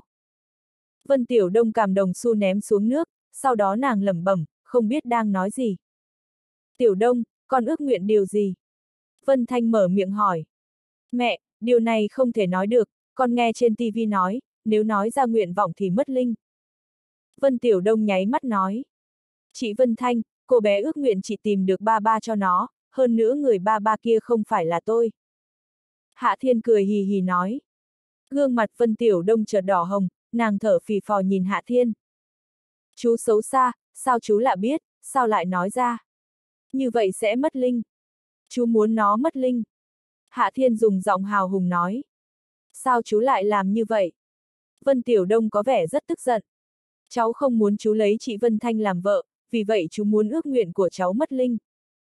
Hạ Thiên có lý do tương đối đầy đủ. Cháu không quan tâm đến chú.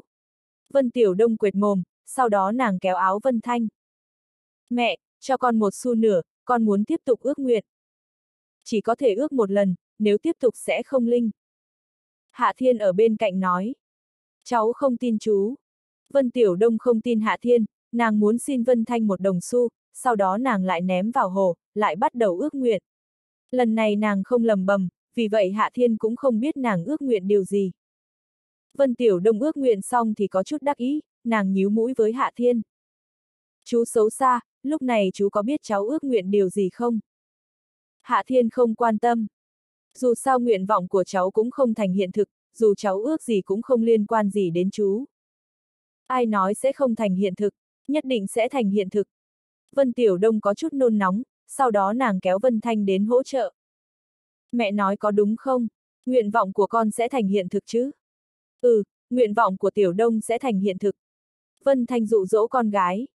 Chị Vân Thanh, gạt người cũng không quá tốt, chị xem, tiền xu mà cháu nó ước nguyện còn bị người ta câu mất, như vậy có thể thành hiện thực sao? Hạ Thiên mở miệng nói. Vân Thanh chợt sững sờ, tiền xu bị người ta câu lên sao? Không đến mức như vậy chứ? Vân Thanh quay đầu lại nhìn, sự thật là như vậy, có hai người đang câu tiền xu, bọn họ cầm một sợi dây thường có một cục nam châm lớn, sau đó bọn họ ném vào ao ước nguyện, mỗi lần thu hoạch được một đống tiền xu. Mẹ, sao bọn họ lại làm như vậy? Còn xấu hơn cả chú xấu xa. Vân Tiểu Đông thấy có người câu tiền xu nàng vừa ném xuống, vì vậy mà lập tức trở nên bực bội và tức tối. Chú đã nói rồi, ước nguyện của cháu là vô dụng. Hạ Thiên đắc ý nói. Chú xấu xa đúng là ngu ngốc. Vân Tiểu Đông reo lên. Cháu vừa ước nguyện mẹ sẽ làm vợ chú, bây giờ mất linh, mẹ sẽ không làm vợ chú nữa. chương 649, câu tiền xu. Cháu đừng muốn gạt chú, chú không tin đâu. Hạ Thiên không tin, nhà đầu kia hảo tâm như vậy sao? Sao nàng có thể đưa ra nguyện vọng như vậy? Thật sự là như vậy. Vân Tiểu Đông bĩu môi. Cháu nghe nói ước hai lần sẽ mất linh, vì vậy cháu mới sửa lại nguyện vọng, sẽ để cho mẹ làm vợ chú, chỉ cần chú không đuổi cháu đi là được, nhưng bây giờ lại mất linh. Thật vậy sao? Hạ Thiên lúc này cũng có chút tin tưởng. Tất nhiên là thật. Vân Tiểu Đông thở phì phò nhìn hai tên câu tiền xu. Đều trách bọn họ cả thôi, đúng là người xấu, tiền xu người ta dùng để ước nguyện cũng câu mất. À, nguyện vọng của cháu sẽ thành hiện thực. Hạ Thiên lập tức vui sướng trở lại. Chỉ cần cháu nghe lời, chú cướp được chị Vân Thanh cũng sẽ không đuổi cháu đi. Nhưng bọn họ đã câu tiền xu của cháu, như vậy ước nguyện sao có thể thành hiện thực. Vân Tiểu Đông cũng không tin lời Hạ Thiên. Không sao, tiền xu của cháu sẽ không bị câu mất. Hạ Thiên trả lời, hắn cũng không nói bậy bạ, hắn thấy tiền xu của Vân Tiểu Đông ném đến nơi nào, thậm chí còn nhìn thấy tiền xu kia ở trong ao, vì vậy hắn xác định tiền xu kia còn chưa bị câu. Vân Tiểu Đông chỉ vào hai người kia.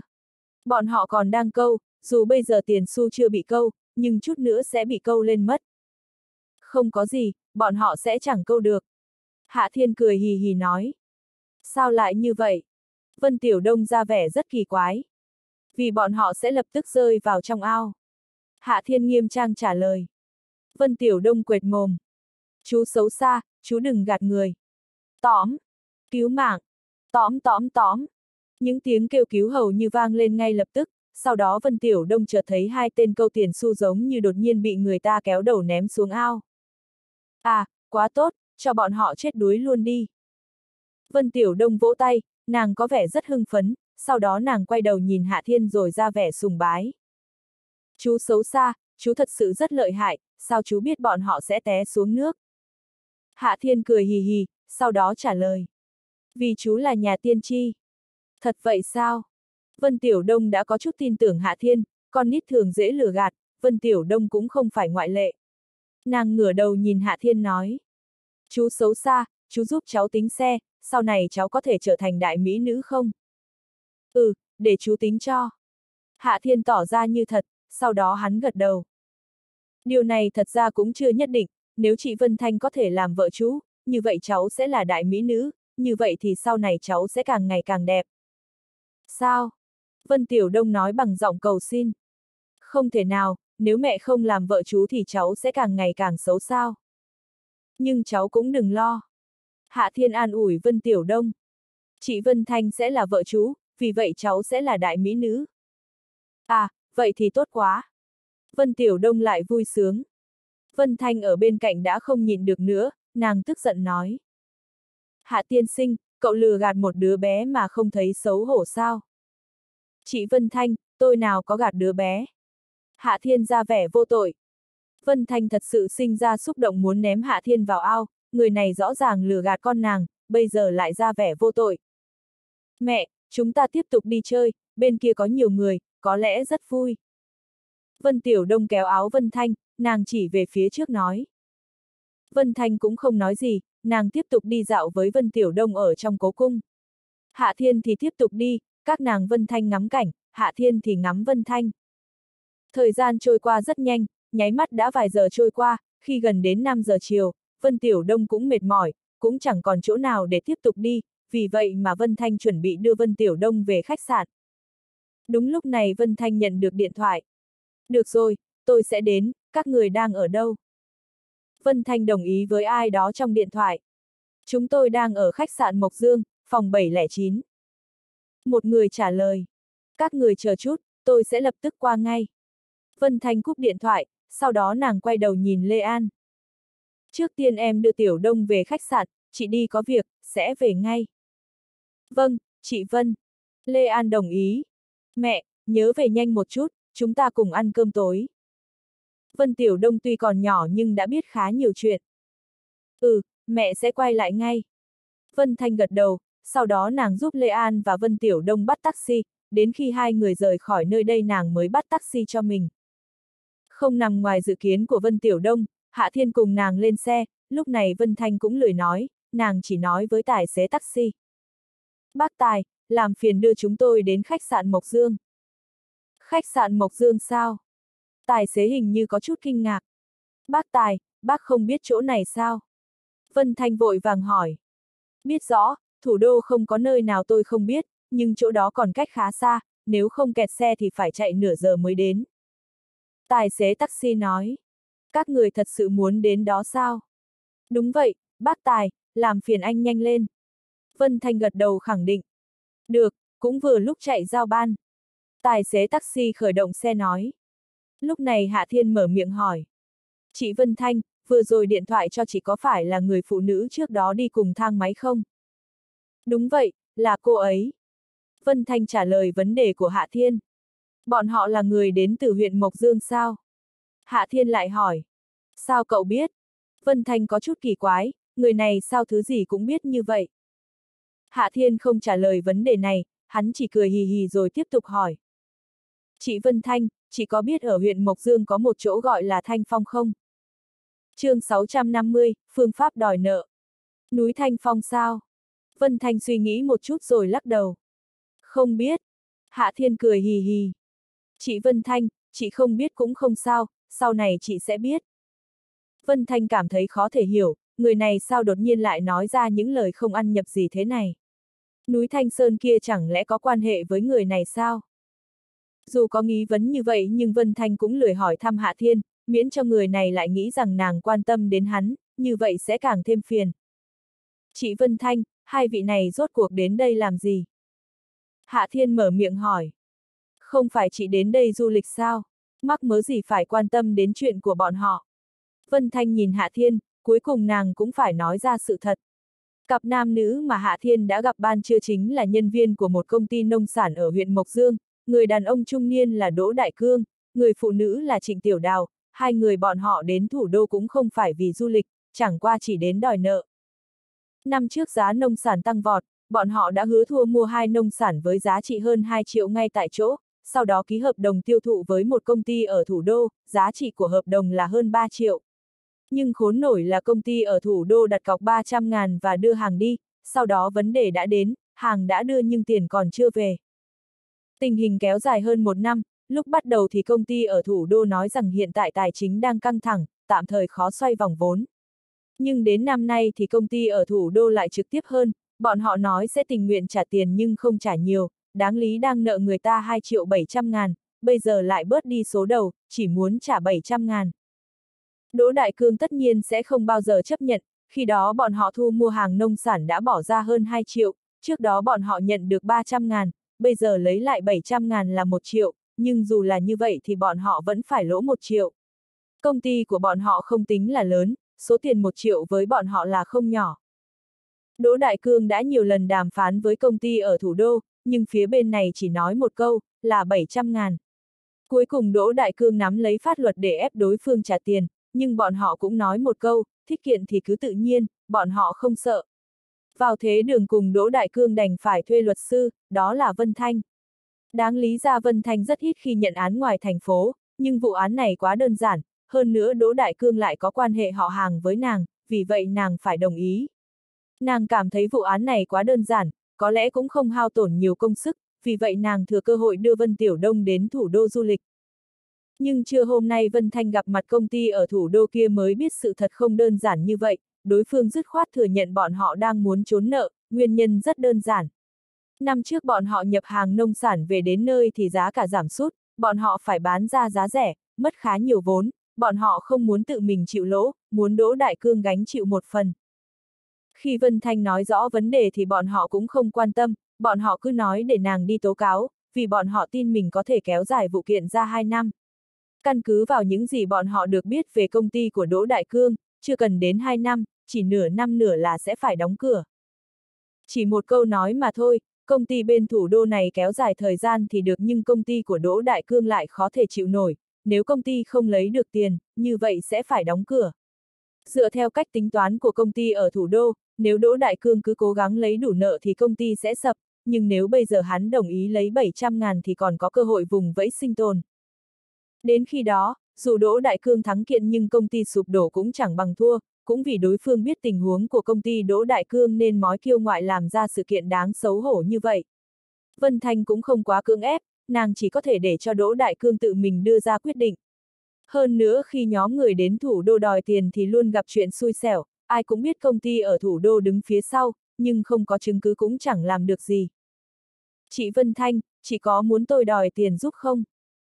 Hạ Thiên nghe xong sự việc thì sung phong nhận trách nhiệm. Vân Thanh dùng ánh mắt nghi ngờ nhìn Hạ Thiên. Cậu có phương án gì xử lý sao? Còn gì nữa, bọn họ không trả tiền thì cho ăn đòn. Hạ Thiên nghiêm trang nói. Vân Thanh không biết nói gì hơn, phương án không khả thi, người này đúng là khó thể trông đợi. Chị Vân Thanh, tôi thật sự có thể đòi lại tiền. Hạ Thiên cũng biết Vân Thanh bây giờ không tin hắn, vì vậy hắn phải bồi thêm một câu. Sau này hãy nói. Vân Thanh cho qua chuyện bằng một câu nói qua loa, rõ ràng nàng không nghĩ những gì Hạ Thiên nói là thật. Hạ Thiên cũng không nói gì thêm, thật ra hắn cũng không nôn nóng, hắn còn hy vọng Vân Thanh không nghĩ ra được phương án mới, như vậy sẽ đền lượt hắn ra tay. Trên đường có hơi kẹt xe, đợi đến khi bọn họ đến khách sạn Mộc Dương thì đã gần 6 giờ. Mộc Dương chẳng qua chỉ là một khách sạn nhỏ, tổng cộng có 7 tầng, không có thang máy, chỉ có thể đi thang bộ mà thôi. Trước đây ít năm khu thường trú của huyện Mộc Dương ở thủ đô bị hủy bỏ, nhưng bộ dạng nơi này vẫn không chút thay đổi. Hai người vừa đi vào khách sạn thì có bảo vệ tiến lên chào hỏi, sau khi biết Vân Thanh tìm Đỗ Đại Cương thì vẻ mặt hắn có chút cổ quái, nhưng hắn vẫn cho hai người đi vào. Hai người đến lầu 7, khi đến gian phòng 709 thì gõ cửa, cửa phòng mở ra rất nhanh. Hai người bước vào, cửa phòng đóng sầm lại, đồng thời có hai tên đàn ông vạm vỡ phóng đến, một người đánh về phía Hạ Thiên, một người nhào về phía Vân Thanh, hình như bọn họ muốn bắt hai người lại. chương 651, ngứa ra. Các người muốn làm gì? Vẻ mặt Vân Thanh chợt biến đổi, nàng kêu lên tức giận, hơn nữa còn lui ra phía sau vài bước, nhưng trong này không gian hẹp, nàng cũng không thể nào lui đi đâu được. Hạ Thiên đạp ngã một tên phóng về phía mình, sau đó hắn phóng đến đạp bay tên khốn phóng về phía Vân Thanh, trong miệng còn mắng bất mãn. Muốn chết sao, muốn sàm sỡ vợ anh à? Hạ Thiên ra chân khá nặng, hai tên đàn ông bị đạp ngã xuống đất mà rên lên đau đớn, cũng không còn sức lực để đứng lên. Lúc này trong phòng vẫn còn bốn người, ngoài Đỗ Đại Cương và Trịnh Tiểu Đào thì vẫn còn hai tên đàn ông khác. Lúc này hai tên đàn ông cũng nhào về phía Hạ Thiên, tất nhiên Hạ Thiên sẽ không nhiều lời, hắn trực tiếp đạp ngã bọn họ xuống đất. Luật sư Vân, chúng ta mau bỏ đi thôi. Lúc này Trịnh Tiểu Đào lo lắng nói. Vân Thanh nghĩ mãi mà không hiểu. Trịnh Tiểu Thư, có chuyện gì xảy ra? Không phải cô muốn tôi đến giải thích với bọn họ sao? Tôi cũng nghĩ rằng chỉ cần giải thích là không có vấn đề gì, nào ngờ vừa nói chuyện điện thoại với chị xong thì bọn họ tịch thu luôn, sau đó bốn người này canh giữ chúng tôi. Trịnh Tiểu Đào nhanh chóng nói. Chúng ta đi nhanh lên, nếu không sẽ không xong. Không phải bọn họ đến đây gây rối sao? Vân Thanh rất tức giận. Lúc này người đàn ông trung niên là Đỗ Đại Cương cũng nói. Luật sư Vân, vừa rồi chúng tôi đã tốn nhiều nước miếng giải thích một lần, nhưng bọn họ không nghe, còn nhận định chúng tôi là nhân tố mất ổn định, muốn chúng tôi đi về, còn nói muốn đòi nợ thì qua quốc khánh rồi hãy đến. Đúng vậy, cũng không biết bọn họ lấy tin tức từ đâu, sau khi chúng tôi kiểm tra ở bệnh viện, bác sĩ nói chúng tôi không sao, tay tôi cũng không gãy, chỉ cần xem xét qua là có thể xuất viện. Nhưng không ngờ khi chúng tôi quyết định xuất viện thì gặp ngay bọn họ. Trịnh Tiểu Đào có chút tức giận. Bâu Linh trước tiên nói sẽ giúp chúng tôi giải quyết khó khăn, chúng tôi theo chân bọn họ đến đây, không ngờ lại bị coi như phạm nhân. Đây rõ ràng là giam giữ người trái luật. Vân Thanh có chút tức giận, nhưng nàng cũng rất bất đắc dĩ. Thôi bỏ, chúng ta đi trước rồi nói sau. Đỗ Đại Cương và Trịnh Tiểu Đào hình như rất đồng ý với điều này, vì vậy Vân Thanh mở cửa phòng và bốn người cùng ra ngoài rất nhanh. Nhưng khi vừa đến đầu hành lang thì đã có người quát lên nghiêm nghị. Đứng lại, các người đi đâu vậy? Vân Thanh xoay người, nàng thấy một người đàn ông hơn 30 đang đi về phía bên này. Luật sư Vân, người này là Dương Lâm, nghe nói là chủ nhiệm khu thường trú ở thủ đô, người nơi đây đều nghe lời hắn. Trịnh Tiểu Đào khẽ nói. Chủ nhiệm Dương, đây là luật sư Vân mà trước đó tôi đã từng nói với anh. Đỗ Đại Cương còn muốn giải thích. Tôi mặc kệ là luật sư gì, bây giờ mau trở về phòng cho tôi. Dương Lâm quát lên nghiêm nghị. Đêm nay tôi sẽ đưa các người về huyện Mộc Dương, chỉ cần các người không gây rối, tôi đảm bảo các người sẽ bình an. Nhưng nếu các người cứ muốn gây rối, như vậy đừng trách tôi không khách khí. Chủ nhiệm Dương, chúng tôi cũng có quyền lợi, anh làm vậy là trái pháp luật. Vân Thanh mở miệng nói. Dương Lâm mất kiên nhẫn cắt ngang lời Vân Thanh. Cô đừng nói luật gì với tôi, tôi không hiểu, tôi chỉ muốn đưa những người đến thủ đô gây rối quay về, chỉ đơn giản như vậy thôi. Vân Thanh lập tức chán nản, luật sư không sợ gặp đối thủ đồng dạng, chỉ sợ gặp người thiếu kiến thức pháp luật, đặc biệt trên tay lại có quyền. Dương Lâm chính là một kẻ như vậy. Chị Vân Thanh, chị đừng nghe lời thằng ngu này, chúng ta đi, nếu hắn chặn đường thì ăn đòn. Hạ Thiên mở miệng nói. Dương Lâm dùng ánh mắt căm tức nhìn Hạ Thiên. Cậu chửi ai vậy? Tôi có chửi ai đâu. Hạ Thiên ra vẻ rất vô tội. Vậy cậu nói ai là thằng ngu? Dương Lâm tức giận chất vấn. Nói ông. Hạ Thiên trả lời ngay. Dương Lâm giận tím mặt. Cậu dám mắng tôi sao? Tôi không mắng, không chửi. Hạ Thiên vẫn ra vẻ vô tội. Ông ngu quá, tôi chỉ nói sự thật, sao có thể là mắng chửi. Buồn cười. Dương Lâm gần đây tác oai tác quái, nào chịu được cơn tức thế này. Cậu ngứa ra sao? Ông mới ngứa ra. Hạ Thiên bĩu môi, sau đó hắn phóng về phía Dương Lâm, lại lấy ngân châm ra đâm vài cái. Dương Lâm cảm thấy da rất ngứa, hắn không khỏi gãi sồn sột, nhưng ngứa cũng không dễ gãi như vậy. Ông xem, tôi đã nói là ông ngứa ra mà. Hạ Thiên cười hì hì nói.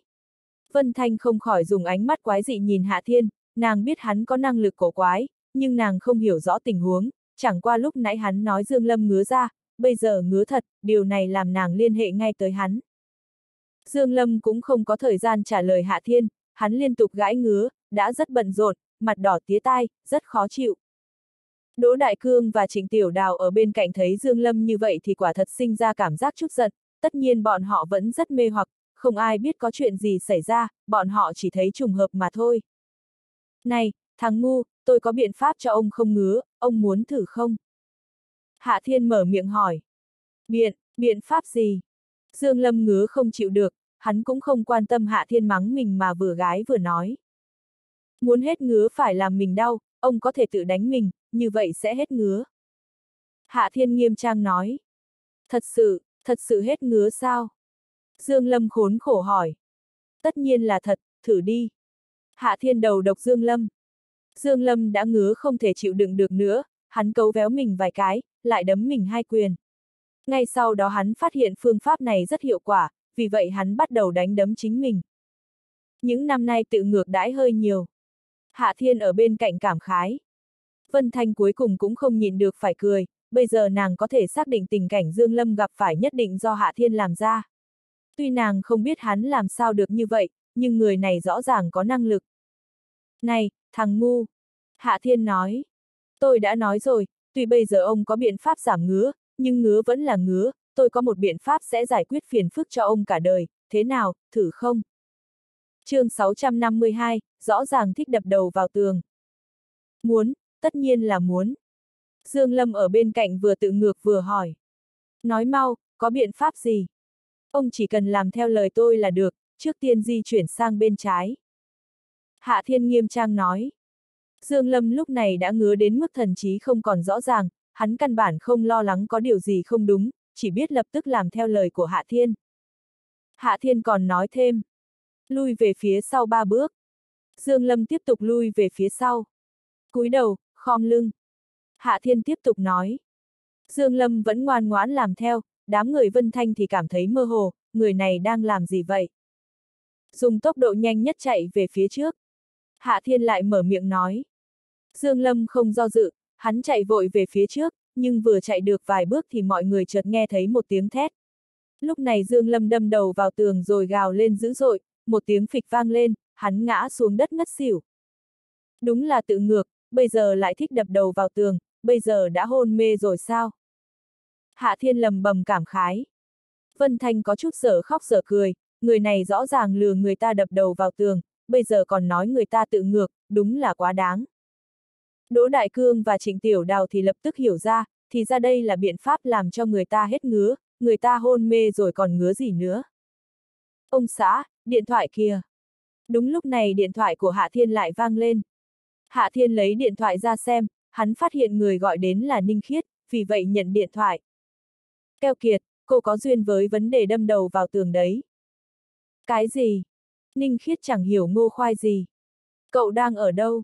Tôi đang xem người ta đập đầu vào tường. Hạ Thiên thuận miệng nói. Cũng giống như cô lần trước vậy. Cậu! Ninh Khiết nổi giận.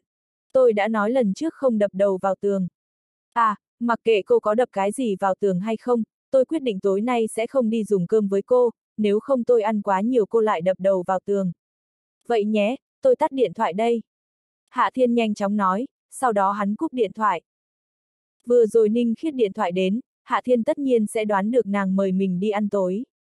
Trước đó hắn có dự định đi ăn với Ninh khiết, nhưng bây giờ hắn đã gặp Vân Thanh, hắn không muốn đi nữa. Ninh khiết đáng thương ở bên kia tức giận đến mức thiếu chút nữa đập nát điện thoại, người này sao lúc nào cũng đáng giận như vậy. Hắn không thể nghe lời một chút được sao. Khi Ninh khiết không còn biện pháp nào khác thì nàng đành phải điện thoại cho Trương Đan, trước đó nàng đã đặt bàn, nếu không có Hạ Thiên thì nàng quyết định mời Trương Đan. Lúc này Hạ Thiên, Vân Thanh và hai người Đỗ Đại Cương, Trịnh Tiểu Đào đang đi như bay xuống lầu. Khu thường trú ở thủ đô này cũng không có quá nhiều người, xuống đến lầu một cũng không có ai ngăn cản bọn họ.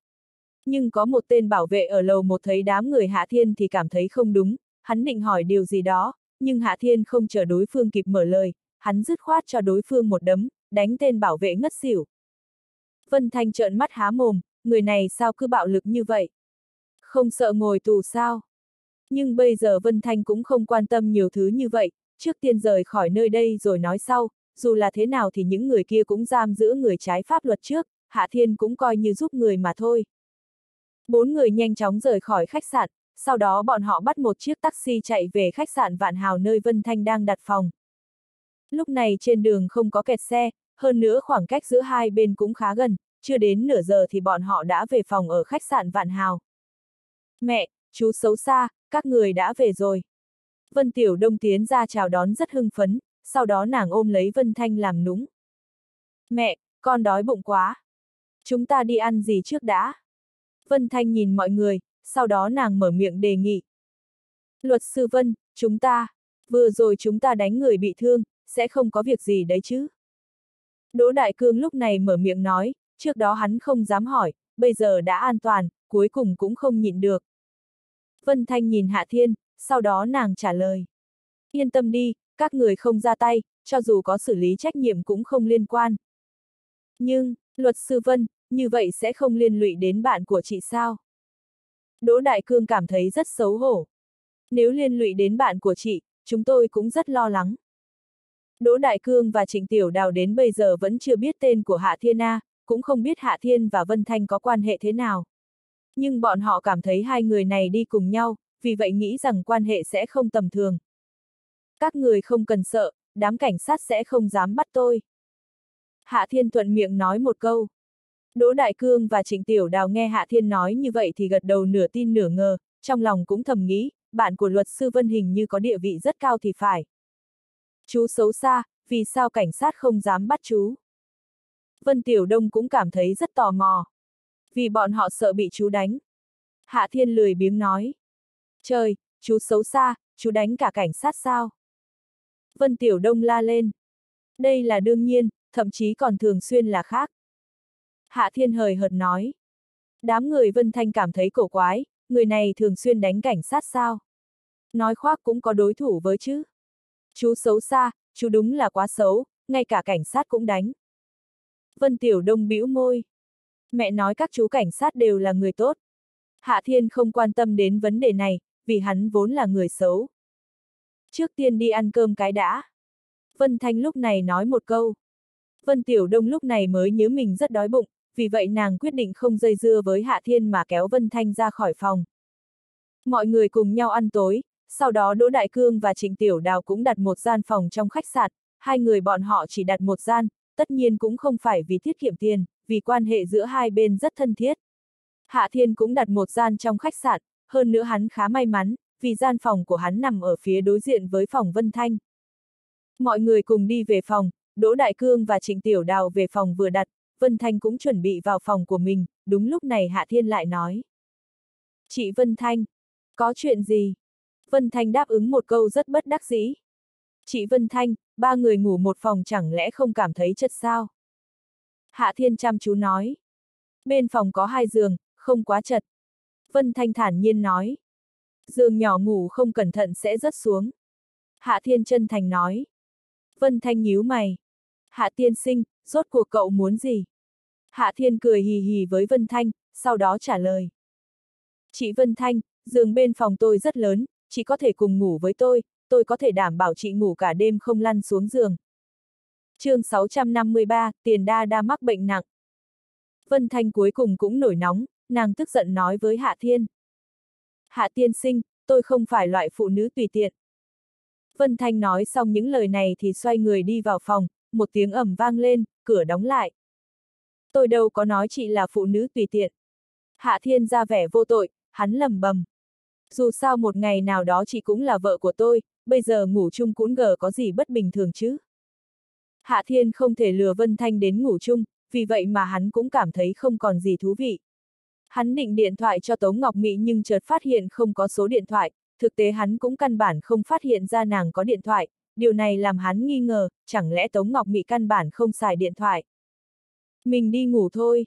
Hạ Thiên cuối cùng cũng quyết định ngủ một giấc rồi nói sau, những ngày qua hắn cũng không được ngủ ngon, ai bảo Mộc Hàm quá tốt, nàng chiều Hạ Thiên đến mức làm người ta quay cuồng. Dù Hạ Thiên muốn thân mật ở chỗ nào thì nàng hầu như không bao giờ từ chối, cũng vì như vậy mà phần lớn hai người đều mất ngủ. Hạ Thiên nói ngủ là ngủ, hắn nằm xuống giường và tiến vào mộng đẹp, một giấc ngủ mãi đến hừng đông, khi tỉnh lại đã là 9 giờ sáng. Hạ Thiên đi đánh răng rửa mặt, hắn ra khỏi phòng, chuẩn bị tìm Vân Thanh tiếp tục hâm nóng tình cảm. Nhưng khi hắn đến gõ cửa thì không có phản ứng, sau đó hắn cẩn thận nghe ngóng, cuối cùng phát hiện bên trong căn bản là không có người. Không thể nào, chẳng lẽ bỏ đi rồi. Hạ Thiên có chút buồn bực, hắn chỉ ngủ một giấc mà thôi, chẳng lẽ vì vậy mà vợ tương lai chạy mất. Có lẽ chỉ ra ngoài chơi mà thôi. Hạ Thiên vẫn an ủi chính mình, dù sao hắn thức dậy tương đối chế, bây giờ Vân Thanh đã đưa Vân Tiểu Đông ra ngoài chơi cũng là bình thường. Hạ Thiên nghĩ đến đây thì lấy điện thoại ra, hắn muốn điện thoại cho Vân Thanh để hỏi xem nàng đang ở đâu, nhưng hắn còn chưa kịp điện thoại thì đã có người gọi đến trước. Người điện thoại đến không phải là Vân Thanh, là một số lạ. Hạ Thiên dù không vui sướng gì nhưng vẫn nhận điện thoại. Alo, ai đó? Chào anh, xin hỏi có phải là Hạ Thần Y không? Đầu dây bên kia vang lên một giọng phụ nữ ngọt ngào nhưng giọng nói có chút kinh hoàng, mà giọng điệu này cũng khá quen thuộc với Hạ Thiên. Là tôi, ai vậy? Hạ Thiên không thể biết rõ đối phương là ai, trước nay hắn không có hứng thú với những người phụ nữ chẳng phải là vợ mình, vì vậy bình thường cũng không ghi nhớ. Hạ thần y, tôi là Quan Đình, là bạn gái của Tiền Đa Đa, lần trước chúng ta đã từng gặp mặt và dùng cơm, cậu không nhớ sao? Đầu dây bên kia truyền đến một âm thanh có chút vội vàng. Hạ Thiên lập tức kịp phản ứng. À, nhớ rõ rồi, nhớ rồi, chị tìm tôi có chuyện gì? Hạ thần y, cậu có thể đến xem bệnh cho tiền đa đa được không? Bây giờ tình huống của anh ấy rất không xong, tôi. Tôi thật sự không biết phải làm sao, tôi mong cậu đến hỗ trợ, đến cứu anh ấy có được không? Quan đình bắt đầu nghẹn lời trong điện thoại. Hạ thiên có chút sững sờ. Tiền đa đa sắp chết rồi sao? Hạ thần y, tôi không biết, tối qua anh ấy còn tốt, sáng nay tôi tỉnh lại thì thấy anh ấy đã hôn mê, hít thở rất yếu.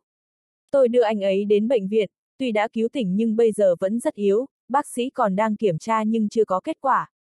Tôi, tôi thấy anh ấy có vẻ rất lo lắng, vẻ mặt rất kém. Quan đình giới thiệu tình huống của tiền đa đa trong điện thoại, nàng nghẹn giọng. Hạ thần y, cậu đã sớm nói anh ấy sẽ mắc bệnh, như vậy cậu sẽ có cách cứu anh ấy, cậu có thể đến xem qua được không? Còn vấn đề tiền bạc, chúng ta có thể thương lượng, cậu thấy có được không? Được rồi, các người đang ở đâu? Tôi sẽ đến xem. Hạ Thiên suy nghĩ rồi đồng ý, không phải hắn muốn kiếm vài chục tỷ của tiền đa đa, vì hắn cảm thấy rất kỳ quái, nếu nói theo lý thì tiền đa đa sẽ bệnh chết, nhưng cũng sẽ không phát tác nhanh như vậy. Cảm ơn Hạ Thần Y, chúng tôi đang ở bệnh viện Thánh Maria, cậu biết chỗ này không? Quan Đình nhanh chóng nói. Chỗ đó sao? Tôi biết, tôi sẽ đến ngay. Hạ Thiên nói một câu, hắn cúp điện thoại rồi chạy xuống lầu. Hạ Thiên có chút kỳ quái, vì sao trước đó bạn gái của Bạch Tiểu Lỗi cũng đến bệnh viện Maria, bây giờ tiền đa đa cũng vậy. Hạ Thiên cũng không biết điều này là rất bình thường, vì bệnh viện Maria là một bệnh viện tư nhân, cũng được lén gọi là bệnh viện quý tộc, bác sĩ ở đây tự xưng là đỉnh cấp thế giới, tiền viện phí tất nhiên cũng rất đắt, người bình thường căn bản không đến đây bao giờ. Nghe nói bây giờ lựa chọn tốt nhất của đám quyền quý ở thủ đô chính là y tiểu âm, nhưng cô gái này chỉ xem bệnh mà thôi, vì vậy nếu có gì đột xuất thì bọn họ chỉ có lựa chọn thứ hai, đó chính là bệnh viện Thánh Maria. Tất nhiên những ngày này vì có sự xuất hiện của thiên hạ đệ nhất thần y Hạ Thiên, vì vậy tìm Hạ Thiên sẽ là lựa chọn đầu tiên của tất cả mọi người. Nhưng liên lạc với Hạ Thiên là không dễ dàng, hơn nữa muốn được xem bệnh thì khó trồng thêm khó, vì Hạ Thiên xem bệnh cho người ta phần lớn chỉ dựa vào tâm tình mà thôi. Trên đường đi đến bệnh viện Hạ Thiên tranh thủ thời gian điện thoại cho Vân Thanh, nhưng Vân Thanh hình như vẫn còn tức giận, nàng căn bản không nhận điện thoại mà trực tiếp cắt ngay. Sau đó Hạ Thiên điện thoại cho Tiểu Yêu Tinh, lúc này may mà nàng chưa đi ngủ, vì vậy hắn nhanh chóng có được vị trí của Vân Thanh. Thì ra hắn đoán không sai, nàng đã mang theo Vân Tiểu Đông đi leo thành. Chồng, anh làm gì thế, không đi cùng chị Hàm sao không đến giúp em? Tiểu yêu tinh nói ra địa điểm của Vân Thanh thì hỏi Hạ Thiên. Vì mỗi ngày em chỉ biết vọc máy tính. Hạ Thiên trả lời. Chồng, em có thể vừa vọc máy tính vừa chơi đùa với anh. Tiểu yêu tinh vội vàng nói. Em cứ chơi với máy tính, anh không muốn cùng em ngồi máy tính. Hạ Thiên không mắc mưu, sau đó hắn cúp điện thoại. Tiểu yêu tinh đang ở yêu tinh biệt huyền nghe thấy tiếng tút tút trong điện thoại mà mất hứng, chồng sao có thể như vậy, yêu nàng phải yêu cả máy tính chứ. Nếu không có máy tính thì còn là nàng sao? Không có máy tính thì nàng chẳng có gì khác với những cô gái 16 tuổi khác, vì vậy nàng không thể không có máy tính. Hạ Thiên cũng không hiểu ý nghĩ của tiểu yêu tinh, hắn cuối cùng cũng đến bệnh viện Maria, quan đình đang ở bệnh viện chờ hắn, khi thấy mặt thì nàng vội vàng đón chào. Hạ thần y, cảm ơn cậu đã đến. Tiền đa đa còn chưa chết sao? Hạ Thiên thuận miệng hỏi một câu, vấn đề này rất quan trọng, nếu tiền đa đa chết rồi thì coi như đi một chuyến uổng công. chương 654, 30 tỷ là đủ rồi. Không có, anh ta ở bên trong, hạ thần y, cậu đến xem qua cho anh ấy được không? Quan đình nôn nóng nói, bình thường nghe Hạ Thiên hỏi như vậy thì nàng chắc chắn sẽ cảm thấy không thoải mái, nhưng lúc này nàng rất lo lắng, vì vậy cũng không quan tâm. Hạ Thiên nghe nói tiền đa đa còn chưa chết thì cũng yên lòng, xem ra vẫn kiếm được tiền. Dẫn đường đi. Hạ Thiên gật đầu thỏa mãn. Dưới sự dẫn dắt của quan đình, Hạ Thiên nhanh chóng tiến vào một phòng bệnh, sau đó hắn thấy được tiền đa đa đang nằm trên giường bệnh. Nhưng trong phòng bệnh cũng chẳng phải chỉ có một người là tiền đa đa, bên cạnh giường còn có hai người đàn ông, một người hơn 50, một người hơn 20, dung mạo có chút tương tự như tiền đa đa. Ngoài hai người đàn ông này thì còn có hai tên vệ sĩ đứng ở ngoài phòng bệnh, vì có quan đình dẫn giường nên hai tên vệ sĩ này cũng không ngăn cản Hạ Thiên tiến đến. Quan đình bắt chuyện với hai người đàn ông, sau đó nàng đi đến bên giường bệnh cầm tay tiền đa đa. Bây giờ anh cảm thấy thế nào? Đừng lo lắng, Hạ thần y đã đến, anh nhất định sẽ không sao. Vị này chính là... Người đàn ông hơn 50 mở miệng hỏi. Bá phụ, vị này chính là Hạ Thiên Hạ thần y. Quan đình vội vàng giới thiệu, sau đó nàng quay giang giới thiệu với Hạ Thiên về thân phận của hai người đàn ông. Hạ thần y, đây là cha của Đa Đa, vị này là em của Đa Đa. Lúc này người đàn ông hơn 50 mới duỗi tay với Hạ Thiên, vẻ mặt có chút khách khí. Thì ra là Hạ thần y nổi danh như cồn, kính ngưỡng danh tiếng đã lâu, tôi là Tiền Vạn Kim, hôm nay có thể được gặp mặt Hạ thần y cũng coi như rất vinh hạnh. Vạn Kim sao, xem ra ông có rất nhiều tiền. Hạ Thiên bắt tay với Tiền Vạn Kim, hắn cảm thấy người nhà họ Tiền đều có tên rất thú vị. Chào cậu, Hạ Thiên, tôi là Tiền Tiểu Phú. Em trai của Tiền Đa Đa lúc này cũng chủ động đến trước mặt chào hỏi Hạ Thiên. Không thể nghi ngờ bây giờ Hạ Thiên là người nổi tiếng ở thủ đô, nhưng chính thức biết rõ Hạ Thiên có bao nhiêu lợi hại thì người tiền ra cũng chỉ là một trong số ít những kẻ như vậy. Vì vậy hai cha con tiền ra lúc này khách khí với Hạ Thiên cũng là điều bình thường. Hạ Thiên nhìn tiền tiểu phú. Xem ra nhà anh rất nghèo. Tiền tiểu phú cười nhạt một tiếng. Cậu nói không sai, tôi rất nghèo. À, Hạ Thiên cũng không có hứng thú với tiền tiểu phú, người này đã nghèo và cũng chẳng phải là người đẹp, tất nhiên sẽ không đáng cho hắn quan tâm. Hạ thần y, làm phiền cậu xem bệnh cho đa đa. Quan đình có vẻ rất lo lắng. Hạ thiên gật đầu, sau đó hắn lách mình đi đến bên giường, hai ngón tay ép lên cổ tay của tiền đa đa, hắn khẽ nhắm mắt. 30 giây sau hắn thu ngón tay trở về rồi dùng ánh mắt cổ quái nhìn tiền đa đa. Hạ thiên, có thể nói cho tôi biết tôi mắc bệnh gì không? Tiền đa đa nở nụ cười miễn cưỡng, bây giờ thần trí của hắn có chút thanh tỉnh nhưng rất suy yếu, giọng điệu cũng cực kỳ dọa người. Kỳ quái, sao anh lại phát bệnh nhanh như vậy? Hạ thiên ra vẻ rất khó hiểu. Đám người trong phòng nghe nói như vậy thì vẻ mặt đều biến đổi, quan đình càng không nhịn được phải hỏi. Hạ thần y, câu nói như vậy có ý gì, cậu có phải biết rõ điều gì đó không? Này, tiền đa đa, tôi cũng không dọa anh, tôi muốn cứu anh, hôm nay anh phải chết, anh có tình nguyện để tôi trị bệnh hay không? Hạ Thiên cũng không trả lời vấn đề của quan đình, hắn cũng không thể chữa bệnh không công, hắn đã xuống núi hơn 2 tháng, hắn còn chưa mua được nhà lớn cho các bà vợ, điều này rõ ràng là cực kỳ dọa người, vì vậy lúc này hắn nhất định phải kiếm cho đủ lợi nhuận. Hạ Thiên, tôi, tôi thật sự không thể cho cậu nhiều tiền như vậy. Tiền đa đa khổ sở lắc đầu. Những số tiền kia không phải. Hạ Thiên không để cho tiền đa đa nói hết lời, hắn bất mãn cắt ngang lời của đối phương. Này, nếu anh thích giữ lại tiền thì cứ để đó mà xài, tốt nhất là anh nên xài cho xong, nếu không sẽ uổng phí. Hạ Thiên nói xong lời này thì lập tức bỏ đi, quan đình lập tức trở nên vội vàng. Hạ thần y, chờ chút, chuyện tiền nong có thể thương lượng, cậu đừng đi vội. Không có gì thương lượng, hoặc là bảo anh ta đưa ra một nửa số tiền, hoặc là để anh ta chờ chết.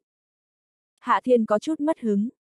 Tôi đã nói với chị rồi, nếu không phải trước kia tôi nói chỉ lấy một nửa thì đã khác, bây giờ tôi đã sửa lại quy củ, sau này tôi cứu sống là 10 triệu, cứu chết để lại 10 ngàn, tôi đã để cho anh ta giữ lại vài chục tỷ, như vậy tôi chẳng phải đã chịu thiệt thòi về mình rồi sao?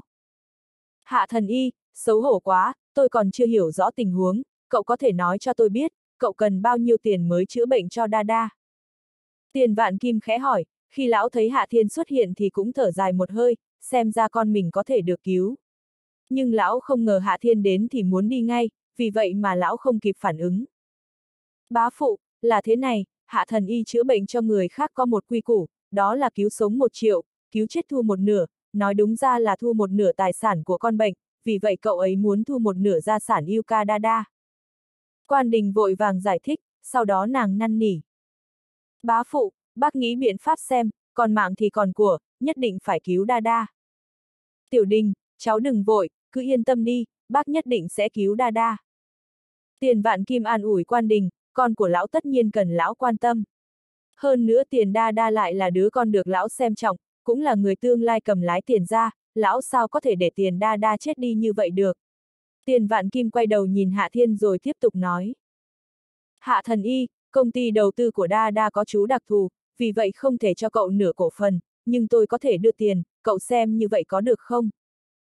Rõ ràng tiền vạn kim biết rõ về công ty đầu tư của tiền đa đa, lão biết số tiền kia đến từ đâu, cũng biết không thể động vào. Ông tình nguyện trả thù lao sao? Hạ thiên nhìn tiền vạn kim, sau đó hắn cảm thấy người này thuận mắt hơn hẳn. Đúng vậy, hạ thần y, công ty đầu tư của Đa Đa có 60 tỷ, một nửa là 30 tỷ, tôi đồng ý cho cậu 30 tỷ, chỉ cần cậu có thể chữa tốt cho tiền Đa Đa là được.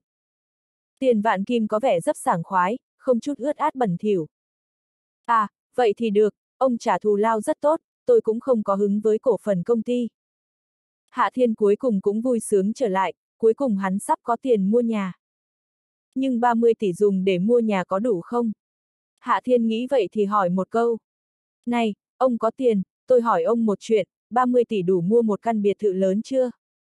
30 tỷ một căn biệt thự lớn sao? Tiền vạn kim chợt ngẩn người, lão nghi ngờ mình nghe lầm, một lúc lâu sau lão mới cẩn thận hỏi. Hạ thần y, cậu muốn mua một căn nhà thế nào? chương 655, không ai dám nợ tôi. Điều này sao, tôi cũng không biết là bao nhiêu, nhưng tôi và vợ đều có thể ở lại là được, vì tôi có rất nhiều vợ. Hạ thiên gãi đầu nói. Tiền vạn kim có chút trầm ngâm, sau đó lão mở miệng nói. Hạ thần y, tôi nghĩ rằng dù cần một cái nhà như thế nào thì 30 tỷ cũng đã là quá đủ. Nếu không thì thế này, hạ thần y, tôi có thể nhận lời giúp cậu xây một căn nhà, dù là chi phí thế nào thì tiền sẽ do tiền ra bỏ ra, nếu vượt qua con số 30 tỷ thì chúng tôi sẽ bổ sung, nếu chưa cần đến 30 tỷ, còn dư tiền thì chúng tôi sẽ trả lại cho cậu, cậu thấy thế nào? Ý kiến này rất hay, cứ như vậy đi.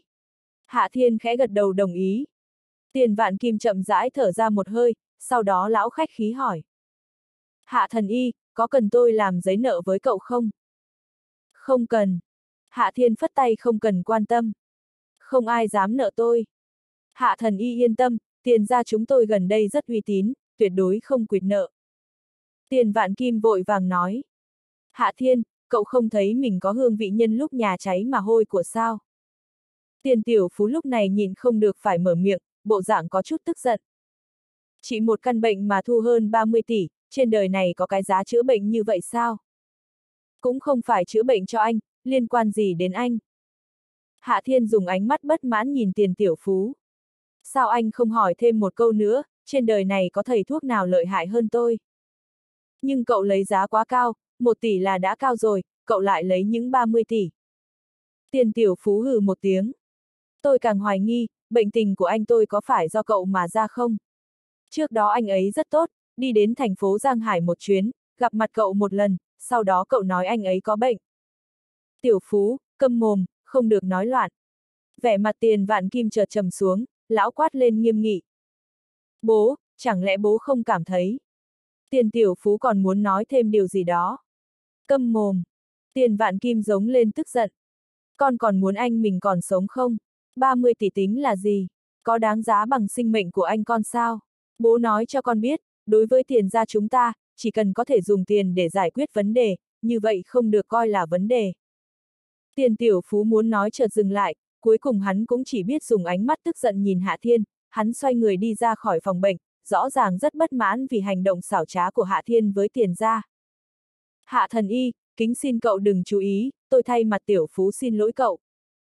Tiền vạn kim dùng ánh mắt hối lỗi nhìn Hạ Thiên, thực tế muốn nói lão không có hoài nghi như tiền tiểu phú chỉ là giả, nhưng lão thấy, dù tiền đa đa thật sự bị Hạ Thiên làm cho sinh bệnh thì cũng phải trả tiền chữa bệnh, người ta thường nói tiền đi thay người, đạo lý là như vậy. 30 tỷ dù là rất nhiều, nhưng tiền vạn kim cảm thấy dùng để mua tính mạng của tiền đa đa cũng rất đáng, tính mạng của tiền đa đa cũng chẳng phải chỉ có số tiền nhỏ kia mà thôi. Tôi cũng sẽ không so đo với những kẻ không tiền. Hạ Thiên lười biếng nói. Dù sao sau này tôi cũng không chữa bệnh cho cậu ta. Hạ thần y, bây giờ cậu có thể chữa cho tiền đa đa được chưa? Tình huống của anh ấy bây giờ ngày càng xấu đi. Quan đình lúc này ở bên cạnh chợt nói. Hạ Thiên quay đầu nhìn, hắn phát hiện sự thật đúng là như vậy, nãy giờ nói chuyện qua lại và tiền đa đa đã nhắm mắt, có lẽ đã hôn mê. Đây là độc chất gì? Sao lợi hại như vậy? Hạ Thiên thì thào nói. Quan đình khẽ giật mình. Hạ thần y, cậu nói đa đa trúng độc sao? Đúng vậy, anh ấy trúng độc vào đêm qua, đáng lý ra dựa theo nguyên nhân sinh bệnh thì sẽ không chết nhanh như vậy. Nhưng bây giờ độc chất phát tác nhanh hơn tốc độ tử vong của anh ấy, vì vậy tôi mới nghĩ rằng không biết anh ấy có thủ oán với ai mà như vậy. Hạ Thiên lấy ra một cây ngân châm rồi nhanh chóng đâm lên người tiền đa đa. Chúng độc tối qua sao? Vẻ mặt quan đình trở nên tái nhợt. Nhưng, tối qua chúng tôi đi ăn cơm Tây, uống nửa bình rượu đỏ, như vậy sao có độc? Tiểu đình, trước tiên không nên quan tâm đến vấn đề này. Tiền vạn kim khẽ vỗ vai quan đình. Đợi hạ thần y chữa xong bệnh cho đa đa, sau đó chúng ta suy xét nguyên nhân cũng không muộn, bây giờ chúng ta không nên quấy rầy hạ thần y. Quan đình khẽ gật đầu không nói gì, nàng dù sao cũng hiểu nặng nhẹ, bây giờ vấn đề quan trọng nhất là chữa tốt cho tiền đa đa, những thứ khác không tính là gì. Hạ thiên cầm lấy ngân châm nhanh chóng đâm lên người tiền đa đa, tốc độ của hắn càng lúc càng nhanh, lúc đầu thời gian trôi qua hơi chậm, nhưng nháy mắt đã là 10 phút đồng hồ. Lúc này Hạ Thiên đã đâm vài trăm châm, sau đó tốc độ của hắn bắt đầu chậm lại, vài phút sau cuối cùng hắn cũng dừng tay. Được rồi, đưa anh ta đi tắm, thuận tiện để anh ta bài tiết tất cả ra ngoài. Hạ Thiên nói với quan đình. Quan đình còn chưa phục hồi tinh thần trở lại, lúc này tiền đa đa đã nhanh chóng ngồi thẳng người trên giường bệnh, hắn vội vàng chạy vào nhà vệ sinh. Tiền vạn kim thở vào một hơi, trong lòng sinh ra cảm khái. Đúng là không phục không được, y thuật của Hạ Thiên quả nhiên không phải khoác lác, con trai của lão vừa hấp hối bây giờ đã có thể đứng lên chạy như bay vào nhà vệ sinh. Hạ thần y, thật sự cảm ơn cậu. Tiền vạn kim dùng ánh mắt cực kỳ chân thành nhìn Hạ Thiên. Nếu không có cậu thì sợ rằng tiền đa đa sẽ khó qua được cửa ải này. Điều đó là đương nhiên, không có tôi thì anh ta nhất định sẽ phải chết. Hạ Thiên không khiêm tốn. Nhưng ông cũng không cần cảm ơn tôi, vì tôi sẽ lấy tiền chữa bệnh. Dù là thế nào thì tôi vẫn phải cảm ơn Hạ Thần Y. Tiền vạn kim cũng coi như là người thiệt tình, lão không sợ dùng tiền, chỉ sợ có tiền bỏ ra cũng không chữa hết bệnh. Này, bệnh viện này còn chỗ nào an toàn không? Hạ Thiên hỏi một câu. Tiền vạn kim cảm thấy nao nao. Hạ thần y, ý của cậu là. Tôi cần một chỗ an toàn, tốt nhất là không có ai quấy rầy mới có thể chữa hết bệnh cho tiền đa đa. Hạ Thiên giải thích một câu. Tiền vạn kim càng kinh ngạc. Hạ thần y, cậu nói là, đa đa còn chưa được chữa xong. Đúng vậy. Hạ Thiên lười biếng nói. Vừa rồi tôi chỉ giúp anh ta giải độc mà thôi, vấn đề ở cơ thể anh ấy vẫn còn chưa được giải quyết, thật ra thứ đó khá phiền phức, vì vậy tôi cần một địa điểm an toàn. Như vậy thì chúng ta nên quay về tiền ra. Tiền vạn kim suy nghĩ rồi nói. Hạ Thiên cũng không có ý kiến gì với vấn đề này, thật ra hắn bây giờ cũng không có yêu cầu quá cao với địa phương an toàn. Dù tình huống của tiền đa đa có chút phiền phức, muốn chữa khỏi phải dùng nghịch thiên bát châm, nhưng thật ra chỉ dùng đệ nhị châm mà thôi, với công lực nghịch thiên bát châm của hắn vào lúc này thì dùng đệ nhị châm cũng chẳng có ảnh hưởng gì nhiều. Một lúc sau tiền đa đa từ trong nhà vệ sinh đi ra, vẻ mặt đã khá hơn rất nhiều, lúc này tiền vạn kim cũng đã sắp xếp xe chuẩn bị rời khỏi bệnh viện. Đúng lúc này điện thoại của Hạ Thiên lại vang lên. Chị Vân Thanh, chị nhớ tôi rồi sao? Hạ Thiên rất vui vẻ nhận điện thoại, vì lần này người điện thoại đến là Vân Thanh. Nhưng điều làm cho Hạ Thiên cảm thấy bất ngờ chính là đầu dây bên kia vang lên một âm thanh của Vân Tiểu Đông. Chú xấu xa, không tốt rồi, mẹ bị mấy chú cảnh sát bắt đi rồi. chương 656, bị xem là phần tử khủng bố. Tối qua Vân Thanh bị Hạ Thiên chọc tức không nhẹ, vì vậy sáng hôm nay nàng rời khỏi khách sạn cũng không muốn thông báo với Hạ Thiên. Hai người Đỗ Đại Cương và Trịnh Tiểu Đào đã đến tòa nhà vọng kinh tiếp tục đòi nợ, mà Vân Thanh thì mang theo Lê An và Vân Tiểu Đông đi ngắm cảnh tường thành. Nhưng Vân Tiểu Đông dù sao cũng vẫn còn rất nhỏ, cũng không có quá nhiều thể lực để leo tường thành. Nàng còn chưa đi được hai cây số đã phải la hét đòi về, vì vậy Vân Thanh đành phải chiều ý nàng. Ba người phải quay về, Vân Tiểu Đông lại hét đau chân, còn nói đói bụng.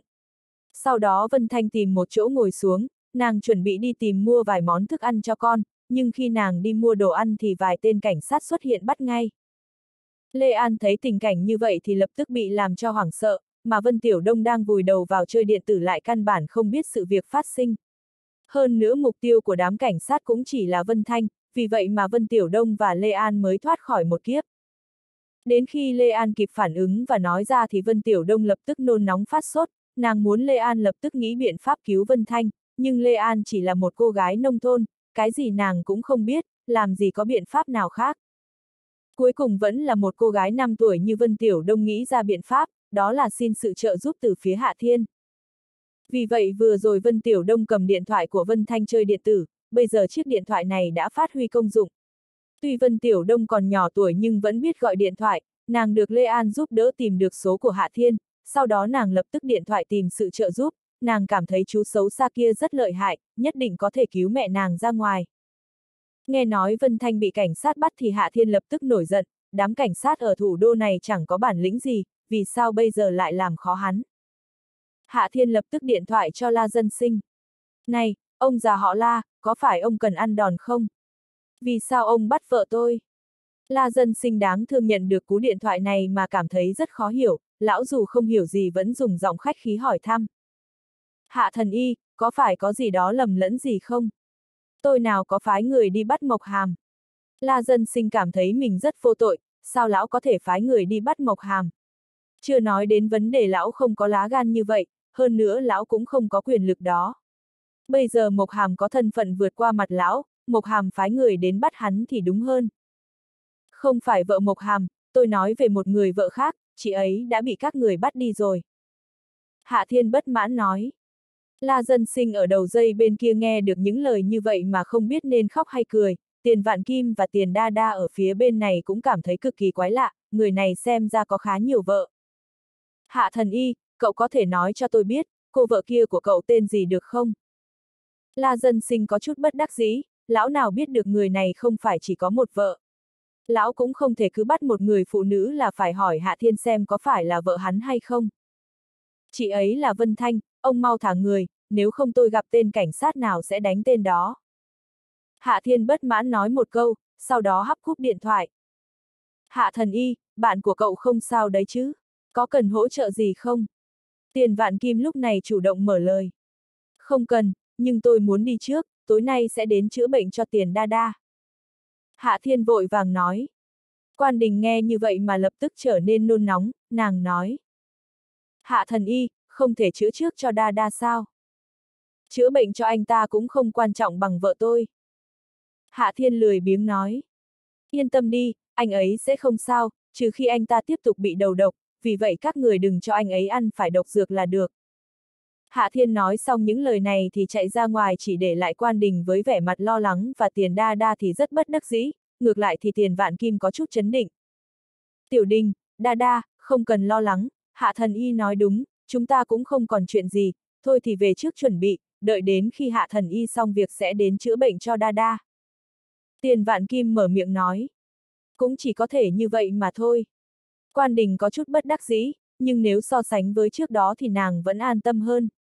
Dù thế nào thì bây giờ tiền đa đa cũng chẳng khác gì người bình thường, hơn nữa Hạ Thiên còn đồng ý chữa bệnh cho tiền đa đa, vì vậy nàng cũng không còn cảm giác chờ đợi lo lắng như trước. Vân Thanh lúc này đang ngồi trong xe cảnh sát, lúc này xe còn chạy trên đường mà cảnh sát bên trong đã bắt đầu thẩm vấn Vân Thanh. Nói đi, đồng lõa của cô là ai? Một người đàn ông hơn 30 mở miệng hỏi, giọng điệu trực tiếp, không thăm hỏi thân phận của Vân Thanh, cũng không hỏi những vấn đề nào khác. Vân Thanh nghe mà cảm thấy không thể giải thích được. Cái gì là đồng lõa? Có phải các người bắt lộn rồi không? Tôi là Vân Thanh, là một luật sư, các anh bắt người trái pháp luật, còn nữa, các anh rốt cuộc là ai? Các anh căn cứ vào đâu để bắt tôi? Tôi biết cô là Vân Thanh, cũng biết cô là luật sư, biết cô đến từ thành phố Giang Hải. Cô muốn xem giấy chứng nhận phải không? Không có vấn đề, đây là giấy chứng nhận. Người đàn ông lấy giấy chứng nhận đưa cho Vân Thanh.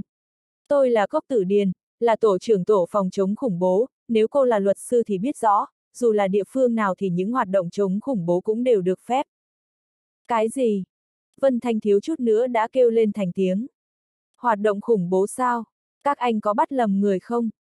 Thực tế Vân Thanh cũng đã có sự chuẩn bị tâm lý đối với tình huống bị cảnh sát bắt giữ, vì tối qua nàng náo loạn ở khách sạn Mộc Dương, nhưng bây giờ lại nghe cảnh sát nói có hoạt động khủng bố, còn có cả đồng lõa, điều này thật sự quá sức tưởng tượng. Vân Thanh, cô đừng giả vờ ngu ngơ, tôi hỏi cô, cô biết Đỗ Đại Cương và Trịnh Tiểu Đào chứ? Cốc Tử Điền khẽ hừ một tiếng. Biết, bọn họ làm sao? Vân Thanh không khỏi hỏi. Bọn họ đang ở đồn cảnh sát chờ cô. Cốc Tử Điền khẽ hừ một tiếng.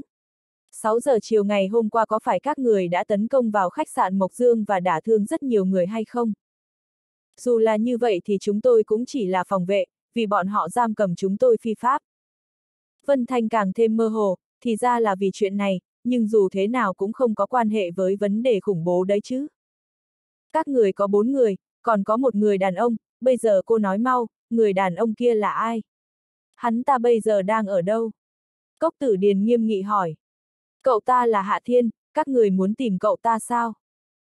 Vân Thanh có chút buồn bực, chẳng lẽ Hạ Thiên là phần tử khủng bố? Vì nàng cảm thấy nghi vấn này có khả năng hơn cả. Hạ Thiên, cái gì? Vẻ mặt cốc tử điền chợt biến đổi. Cô nói hắn tên gì? Hạ Thiên, Hạ trong xuân hạ thu đông, thiên trong thiên hạ đệ nhất thiên. Vân Thanh bắt đầu cảm thấy không ổn, không phải Hạ Thiên là phần tử khủng bố đấy chứ. Nếu thật sự là như vậy thì nàng bị hại thảm bại rồi.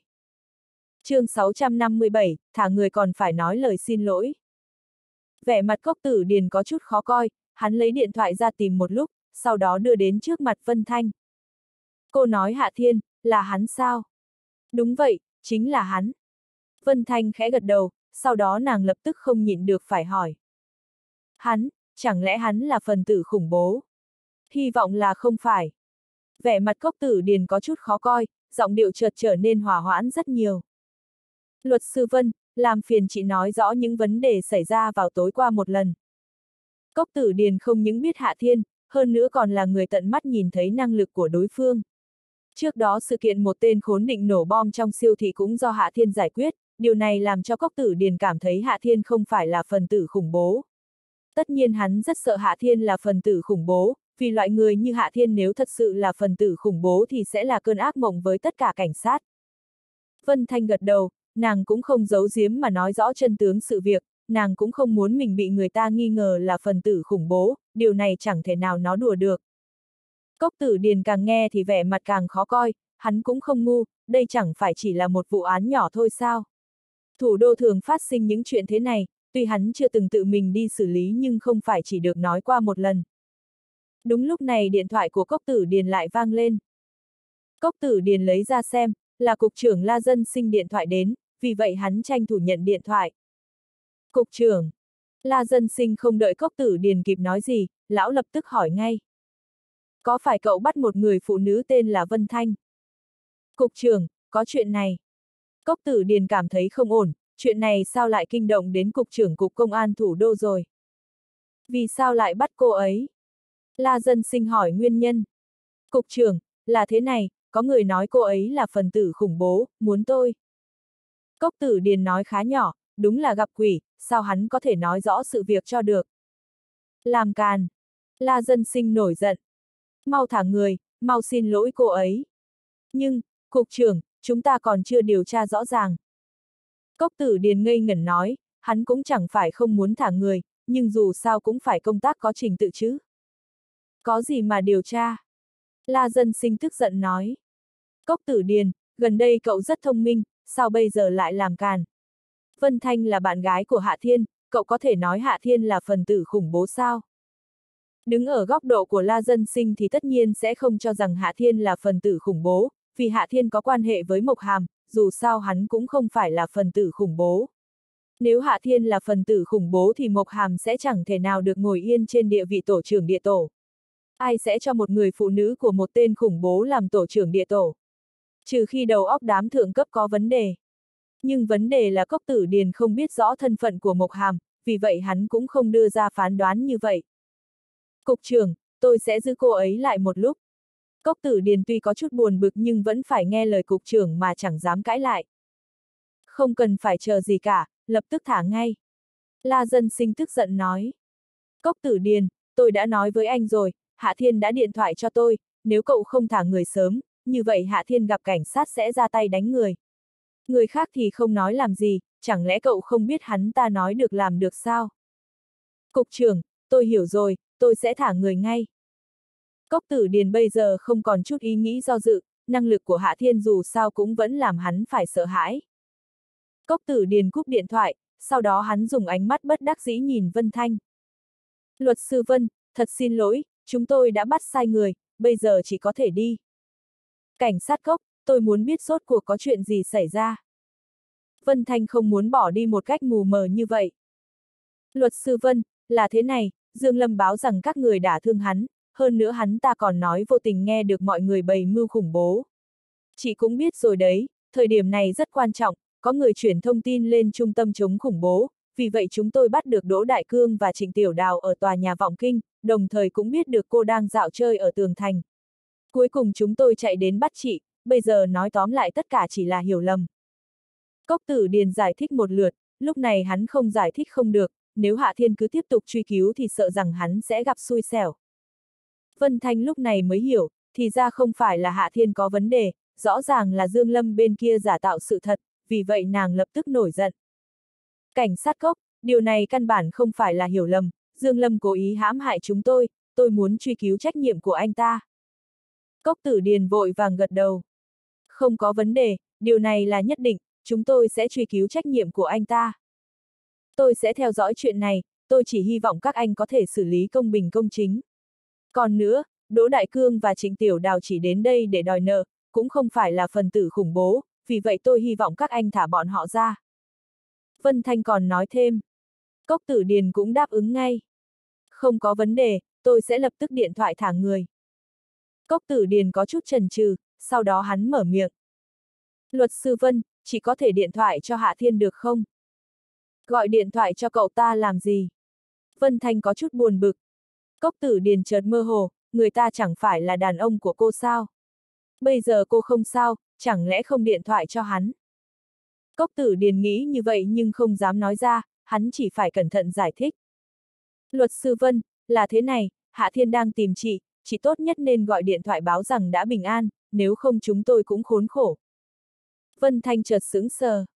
Các anh khốn khổ cái gì? Cốc tử điền có chú khó chịu, người phụ nữ này chẳng phải có một thằng đàn ông trâu chó sao? Đáng giá phải đánh lên mặt hắn vậy à? Luật sư Vân, tôi cần phải báo cáo với cục trưởng, cục trưởng của chúng tôi đã rất khốn khổ vì Hạ Thiên, nếu cục trưởng đã mệt thì tôi càng mệt hơn, bây giờ cô đã hiểu chưa? Cốc tử điền nói bằng giọng một ngạt. Vân Thanh há hốc mồm, đến lúc này nàng mới hiểu, xem ra cảnh sát tình nguyện thả nàng không vì ai khác mà vì Hạ Thiên. Rõ ràng đối phương không phải chẳng phải là phần tử khủng bố, hơn nữa còn là loại người làm người ta sợ hãi. Được rồi, làm phiền anh cho tôi mượn điện thoại, lúc này tôi không mang theo điện thoại. Vân Thanh cuối cùng cũng đồng ý. Vân Thanh mượn điện thoại của Cốc Tử Điền, sau khi nàng xác nhận Vân Tiểu Đông không có việc gì thì mới bấm số của Hạ Thiên. Trước nay nàng rất mẫn cảm với dãy số này, vì vậy nàng nhớ rất rõ. Hạ tiên sinh, là tôi, tôi đã không sao, cảm ơn sự trợ giúp của cậu. Điện thoại được nối thông, Vân Thanh mở miệng nói. Cốc tử điền ở bên cạnh chợt buồn bực, Vân Thanh này chẳng phải là phụ nữ của Hạ Thiên à? Sao lại nói chuyện khách khí như vậy? chương 658, siêu siêu nhân. Chị Vân Thanh, đám cảnh sát kia không ức hiếp chị đấy chứ? Hạ Thiên hỏi trong điện thoại. Nếu bọn họ ức hiếp chị, bây giờ chỉ cứ nói, tôi sẽ đánh bọn họ một trận nhớ đời. Hạ tiên sinh, bọn họ đối với tôi rất tốt, không làm chuyện gì quá phận, cậu cũng đừng quá bận tâm, tôi cúp máy trước đây. Vân Thanh không muốn nói nhiều với Hạ Thiên, nàng vẫn còn tức giận vì tối qua hắn muốn ngủ với nàng. Chị Vân Thanh, đừng cúp máy vội, chị đang ở đâu? Tôi đang đến, tôi sẽ lập tức đi tìm chị. Hạ Thiên nhanh chóng nói. Không cần đến tìm tôi, tôi sẽ về khách sạn ngay lúc này. Vân Thanh nói một câu, sau đó nàng cúp điện thoại. Vân Thanh bắt xe quay về tường thành, nàng tìm được Vân Tiểu Đông và Lê An, sau đó tất cả cùng bắt xe về khách sạn. Sau khi trải qua sự kiện như vậy thì dù là nàng hay Vân Tiểu Đông cũng chẳng còn hứng thú để tiếp tục du ngoạn. Khi hai người quay lại khách sạn thì đã hơn 12 giờ, trước tiên ba người xuống dưới nhà hàng của khách sạn dùng cơm, sau đó cùng nhau về phòng. Khi đóng cửa phòng thì Vân Thanh đã nghe được tiếng hô có chút khoa trương của Vân Tiểu Đông. Qua, chú xấu xa, sao chú lại ngủ ở đây?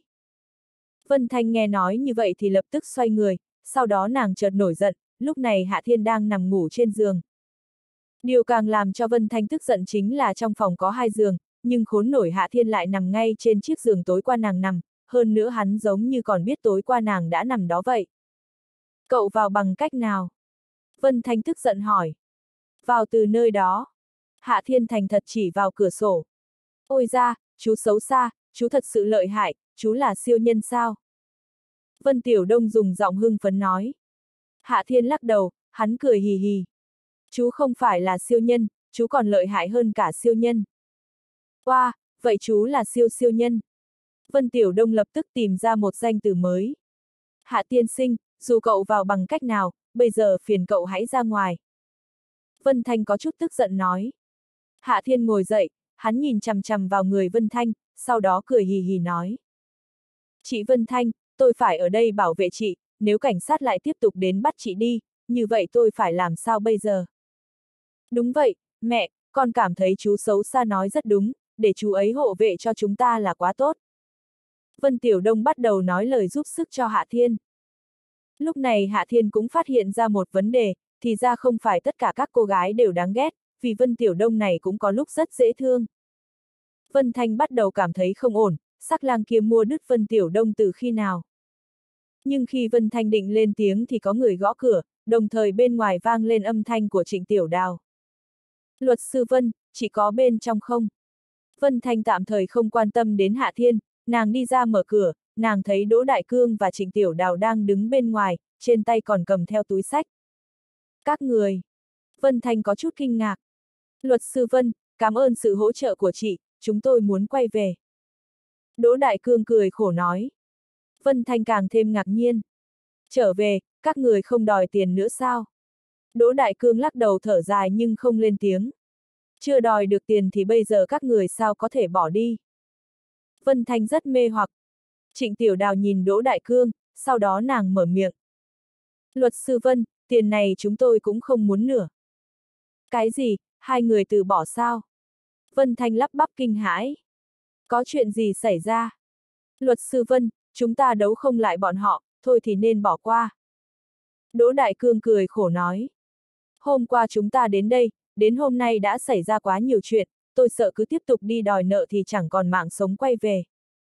Đây chỉ là trùng hợp mà thôi, cũng không có liên quan gì đến bọn họ. Vân Thanh khẽ nhíu mày, hai người này mới bị bắt một lần đã bị hù sợ hãi vậy rồi sao?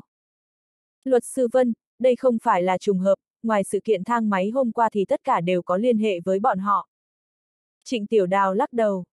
Hôm nay chúng tôi đến công ty của bọn họ, vị giám đốc kia đã nói cho chúng tôi biết, chính anh ta đã thông báo cho khu thường trú của huyện Mộc Kinh ở thủ đô, để bọn họ bắt chúng tôi quay về, đồng thời còn nói sẽ làm chúng tôi khổ chết. Sau này anh ta nhấc điện thoại lên trước mặt chúng tôi, một lúc sau cảnh sát ập đến. Đúng là quá đáng. Vân Thanh tức giận. Bọn họ quyệt nợ, hơn nữa còn dùng thủ đoạn quá hèn hạ.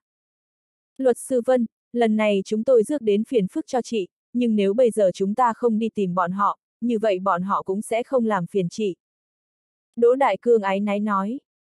Vân Thanh vẫn không cam lòng. Đỗ tiên sinh, anh cứ như vậy mà quay về sao? Dù thế nào thì cũng phải lấy lại được 700 ngàn đã chứ. Luật sư Vân, bây giờ bọn họ cũng không muốn trả lại 700 ngàn. Trịnh Tiểu Đào tức giận nói. Tên giám đốc chết tiệt kia nói chúng ta cứ việc đi tố cáo, nói rằng trừ khi có chát phán quyết của tòa án, nếu không bọn họ sẽ chẳng bỏ ra một đồng nào. Đúng vậy, hắn nói rằng chúng tôi không nên đi tìm hắn vào lúc sáng sớm, chúng tôi đã làm ảnh hưởng đến tâm tình của hắn. Vẻ mặt Đỗ Đại Cương cũng rất tức giận, nhưng rõ ràng phần nhiều là chẳng biết làm gì. Quá đáng. Vân Thanh tức giận đến mức gương mặt đỏ bừng bừng. Để tôi đi tìm bọn họ. Chị Vân Thanh, thật ra chị cũng đừng nên tức giận, phụ nữ mà tức giận thì rất nhanh già. Hạ Thiên lúc này đã nhảy xuống giường. Tôi sẽ giúp chị đòi nợ, đảm bảo sẽ để cho đám người kia phải trả tiền. Luật sư Vân, bọn họ rất có thủ đoạn, chúng tôi thật sự không muốn làm chị bị hại. Trịnh Tiểu Đào có chút do dự. Đặc biệt là chị quá xinh đẹp, lỡ may. Trịnh Tiểu Đào không tiếp tục nói thêm nhưng trong lời nói của nàng lại có ý mà ai cũng hiểu, nếu Vân Thanh bị người trả thù thì không đơn giản là đánh một chặp hoặc bắt về cục công an. Vân Thanh lúc này nhìn Hạ Thiên. Hạ Tiên sinh, cậu có thể đòi lại món nợ này được không? Chị Vân Thanh, không có gì tôi không làm được. Hạ Thiên cười hì hì nói. Vân Thanh không khỏi trầm ngâm, dù nàng bây giờ vẫn biết rất ít về Hạ Thiên, nhưng sự việc hôm nay cũng làm cho nàng hiểu. Hạ Thiên thật ra cũng có bối cảnh, có lẽ hắn có thể giúp được nàng đòi lại khoản nợ cho Đỗ Đại Cương. Trịnh Tiểu Thư, thế này đi, cô đưa phiếu nợ cho tôi, bây giờ tôi sẽ đi đòi nợ, các người ở lại khách sạn là được. Vân Thanh cuối cùng cũng quyết định thử sức, nàng thật sự không muốn để cho công ty kia thích làm gì thì làm. Đỗ Đại Cương và Trịnh Tiểu Đào đưa mắt nhìn nhau, cuối cùng bọn họ đưa phiếu nợ ra. Rõ ràng bọn họ vẫn rất muốn có tiền, nhưng bọn họ không dám đi đòi tiền, nếu bây giờ Vân Thanh tình nguyện thì bọn họ sẽ thử vận may xem thế nào. Hạ tiên sinh, phiền cậu theo tôi cùng đi. Vân Thanh chủ động mời chào Hạ Thiên, vì món nợ này, nàng quyết định tiếp nhận sự trợ giúp của Hạ Thiên.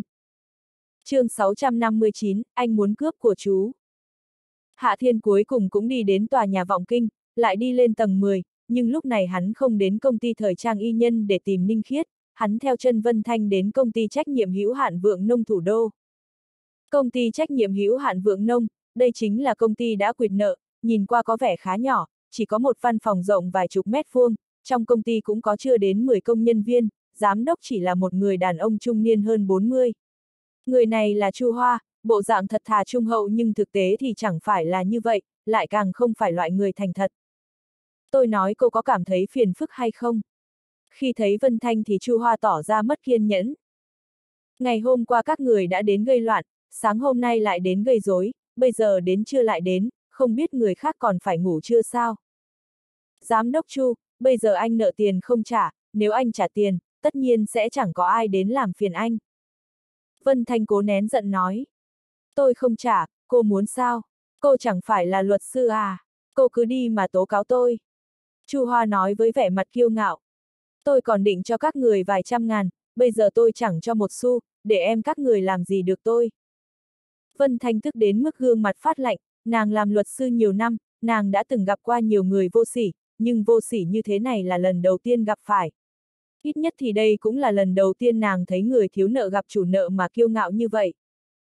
Chị Vân Thanh, đừng nóng, giao tên ngốc này cho tôi là được. Hạ Thiên lập tức an ủi Vân Thanh, sau đó hắn nhìn chằm chằm vào Chu Hoa. Này, thằng ngu, chú nhìn anh đi, chú có biết anh không? Mỗi ngày anh đều gặp qua nhiều thằng ngu, loại ngu như chú sao anh biết được? Chu Hoa cười lạnh nói. Không đúng, chẳng phải bây giờ anh rất nổi tiếng sao? Hạ Thiên có chút khó hiểu, sau đó hắn chừng mắt nhìn Chu Hoa. Này, thằng ngu, anh cảnh cáo chú, bây giờ chú phải trả tiền ngay, nếu không anh cho chú ăn đòn. Anh cũng cảnh cáo chú lập tức cút đi, nếu không anh sẽ báo cảnh sát tố cáo chú cướp của. Chu Hoa vẫn còn kiêu ngạo hơn Hạ Thiên rất nhiều. Cướp của sao? Hạ Thiên lầm bầm một câu, sau đó hắn suy nghĩ rồi có vẻ giống như đưa ra quyết định. Được rồi, hôm nay anh quyết định cướp của chú. Cướp của anh. Chu Hoa cười lạnh. Thằng khốn nào ở thủ đô muốn cướp tiền của anh, bây giờ sợ rằng nó còn chưa ra đời. Chú thật sự không biết anh sao? Hạ Thiên hỏi lại một câu. Vân Thanh ở bên cạnh có chút buồn bực, người này làm gì vậy? Người ta đã nói là không biết, cứ hỏi làm gì? Nghĩ mình là ngôi sao lớn sao? Tiểu tử, anh có quen biết rộng, nhưng loại cùi bắp như chú thì không. Chu Hoa tất nhiên không quan tâm đến Hạ Thiên làm gì. Vậy thì được rồi, anh giới thiệu tên mình, anh là Hạ Thiên, Hạ trong xuân Hạ thu đông, Thiên trong thiên hạ đệ nhất thiên. Hạ Thiên ngồi xuống đối diện với Chu Hoa, hắn thuận tiện còn kéo Vân Thanh ngồi xuống. Anh không những là anh đẹp trai nhất thiên hạ, hơn nữa còn là hạ thần y đệ nhất thiên hạ, bây giờ chú đã biết anh chưa? Cái gì là hạ thiên hay đông thiên? Chu Hoa có chút khinh thường, nhưng hắn vừa nói đến đây thì chợt nhớ đến một vấn đề gì đó, vẻ mặt không khỏi biến đổi. Cái gì, hạ thiên sao, cậu là hạ thiên thần y sao? Đúng vậy, chính là anh. Hạ thiên gật đầu rất thỏa mãn. Vẻ mặt Chu Hoa chợt biến đổi, hắn mở web rồi nhanh chóng tìm tòi, vài phút sau hắn xác nhận một thông tin, người ngồi trước mặt mình chính là Hạ Thiên Hạ thần y nổi tiếng thủ đô vào thời gian gần đây. Lần này vẻ mặt Chu Hoa trở nên cực kỳ khó coi, hắn ngẩng đầu lên nhìn Hạ Thiên, trên mặt lộ ra nụ cười miễn cưỡng. Thì ra là Hạ thần y, đúng là thất kính, không biết Hạ thần y đến đây có chuyện gì. Rõ ràng thân phận của Hạ Thiên làm cho Chu Hoa phải kiêng kỵ, nhưng nếu muốn trả tiền ngay lập tức thì rõ ràng là không thể, vì vậy hắn giả vờ như không biết đối phương đến đây làm gì. Chẳng phải chỉ là một thầy thuốc thôi sao? Bây giờ Chu Hoa không có bệnh, dù bị bệnh cũng có rất nhiều bệnh viện. Chỉ cần không phải là bệnh nan y thì hắn sẽ chẳng cần cầu xin thần y làm gì. Vì vậy dù hắn không muốn đắc tội với Hạ Thiên, nhưng nếu nói hắn phải lấy tiền ra thì rõ ràng là không thể. Này, anh đến xem bệnh cho chú. Hạ Thiên trả lời. Chu Hoa chợt ngây người, lời nói của Hạ Thiên rõ ràng vượt qua dự đoán của hắn, vì vậy mà hắn miễn cưỡng nở nụ cười. Hạ thần y, tuần qua tôi vừa đi khám sức khỏe, sức khỏe của tôi dạo này rất tốt, không bệnh tật gì. À, bây giờ chú thật sự không có bệnh gì nặng. Hạ Thiên khẽ gật đầu. Nhưng chú sẽ nhanh chóng có bệnh. Trong mắt Chu Hoa lóe lên cái nhìn bất an. Hạ thần y, cậu nói vậy là có ý gì? Hạ Thiên lười biếng nói. Ý của anh rất đơn giản, chính là thừa dịp chú không chú ý, anh đâm vài châm lên người chú, sau đó hai chân chú sẽ chậm rãi teo rút, hai tay cũng teo rút, cuối cùng toàn thân chỉ còn lại cái miệng để ăn cơm, ngoài ra tất cả bộ phận khác đều không thể động đậy. Chú cảm thấy như vậy có tốt không? Thật ra anh thấy như vậy là tốt, ít ra sau này chú có thể ngủ cả ngày, cũng không còn ai đến quấy rối chú nữa. Hạ thần y, cậu đang nói đùa sao? Chu Hoa mỉm cười ngây ngốc. Anh không quen chú, anh không có hứng nói giỡn với chú. Hạ Thiên có chút khinh thường, trên tay xuất hiện một cây ngân châm, sau đó hắn đâm lên tay Chu Hoa một châm, hắn nói. Chú có cảm giác bị anh đâm lên tay không? Đáng lý ra Chu Hoa không sinh ra cảm giác, nhưng Hạ Thiên nói như vậy thì hắn lập tức nhớ vừa rồi mình có hơi đau, vì vậy mà vẻ mặt hắn có chút mất tự nhiên. Hạ thần y, cậu, cậu làm gì tôi? Chú thử xem tay phải của mình, có phải chẳng còn chút sức lực gì cả, thậm chí nắm lại cũng không chặt. Hạ Thiên dùng giọng không chút hoang mang hỏi. Chu Hoa bóp bóp nắm tay, vẻ mặt lập tức trắng bệch, khí lực trên tay cũng không tệ nhưng lúc này tay hắn như mềm nhún, đúng như những gì Hạ Thiên nói, bây giờ hắn khó thể nắm chặt bàn tay lại. Cậu, cậu muốn làm gì? Chu Hoa nhìn Hạ Thiên, giọng nói mơ hồ có hơi run. Có muốn anh trị bệnh cho chú không? Hạ Thiên cười hì hì. Cứu sống 10 triệu, cứu chết để lại 10 ngàn, đây là quy củ mới của anh, chú chỉ cần đưa ra cho anh 10 triệu, như vậy anh sẽ chữa tay cho chú trở lại như thường, nếu không thì chú chuẩn bị cho khoảng thời gian nằm liệt giường là vừa. Cậu, cậu muốn cướp đoạt sao? Chu Hoa có chút tức giận, trong lòng càng khó hiểu, gần đây hắn chỉ cướp của người ta, bây giờ lại bị người ta cướp lại sao? Điều này đúng là không có thiên lý. Hạ Thiên dùng ánh mắt khinh bỉ nhìn Chu Hoa. Chú đúng là quá ngu, không phải anh đã nói rồi sao? Anh muốn cướp của chú. chương 660, anh anh muốn tiền mặt.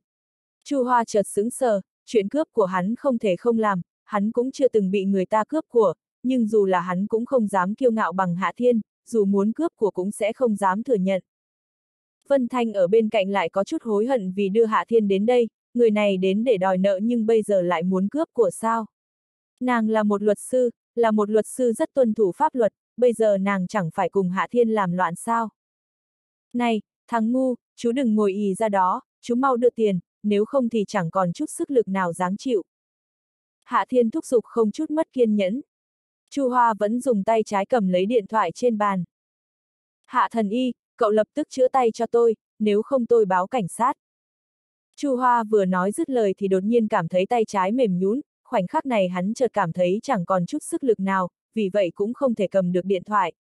Một tiếng bộp vang lên, điện thoại rơi xuống. Nói chú quá ngu mà không chịu thừa nhận, chú báo cảnh sát thì làm được gì? Hạ Thiên khinh bỉ.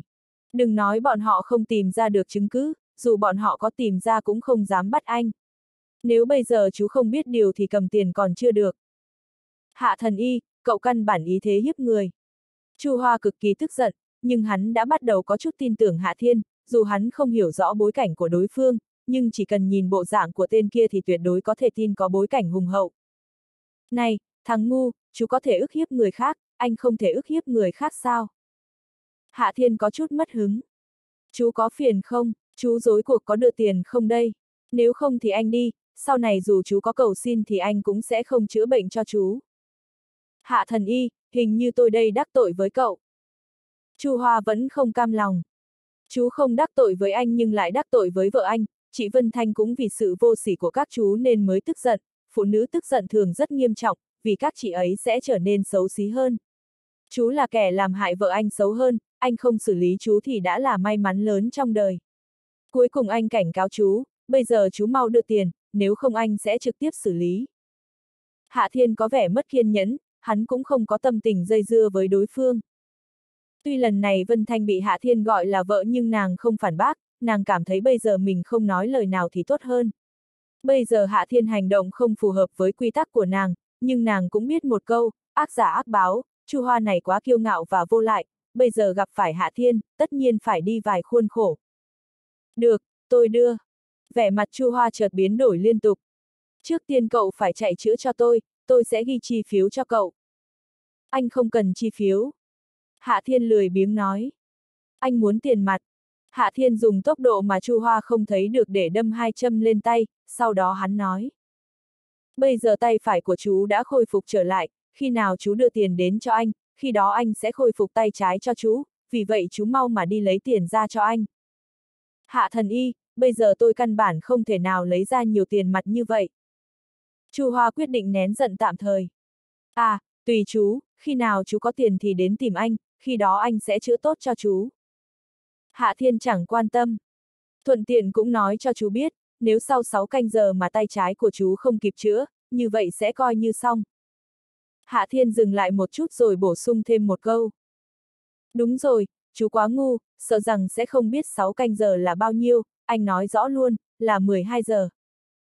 Hừ, anh đây cũng biết 6 canh giờ là 12 giờ. Chu Hoa thầm mắng trong lòng nhưng trên miệng vẫn rất khách khí. Hạ thần y, tôi sẽ lập tức đi kiếm tiền, phiền cậu ngồi chờ ở đây, hoặc cậu nói rõ địa chỉ, tôi sẽ đưa tiền đến tận nơi. Anh không có tâm tình ở đây ngồi chờ, các chú lấy tiền rồi đưa đến cho anh. Hạ Thiên lười biếng nói một câu. Chị Vân Thanh, chúng ta về khách sạn trước thôi. Ừ, được. Vân Thanh khẽ gật đầu, sự việc tiến triển đến mức này thì nàng cũng không còn lựa chọn nào khác. Hạ Thiên đưa số phòng khách sạn của Vân Thanh nói cho Chu Hoa, sau đó hắn đứng dậy muốn bỏ đi, nhưng sau đó hắn nghĩ đến một vấn đề và nói với Vân Thanh. Đúng rồi, chị Vân Thanh, phiếu nợ kia của chị đâu? Cậu muốn phiếu nợ làm gì? Vân Thanh chợt có hơi sững sờ. Để hắn ta trả tiền. Hạ Thiên dùng ánh mắt kỳ quái nhìn Vân Thanh. Chúng ta chẳng phải đến đòi nợ sao? Nhưng, chẳng phải vừa rồi cậu đã lấy của hắn 10 triệu sao? Vân Thanh chợt ngẩn ngơ, nàng khẽ hỏi.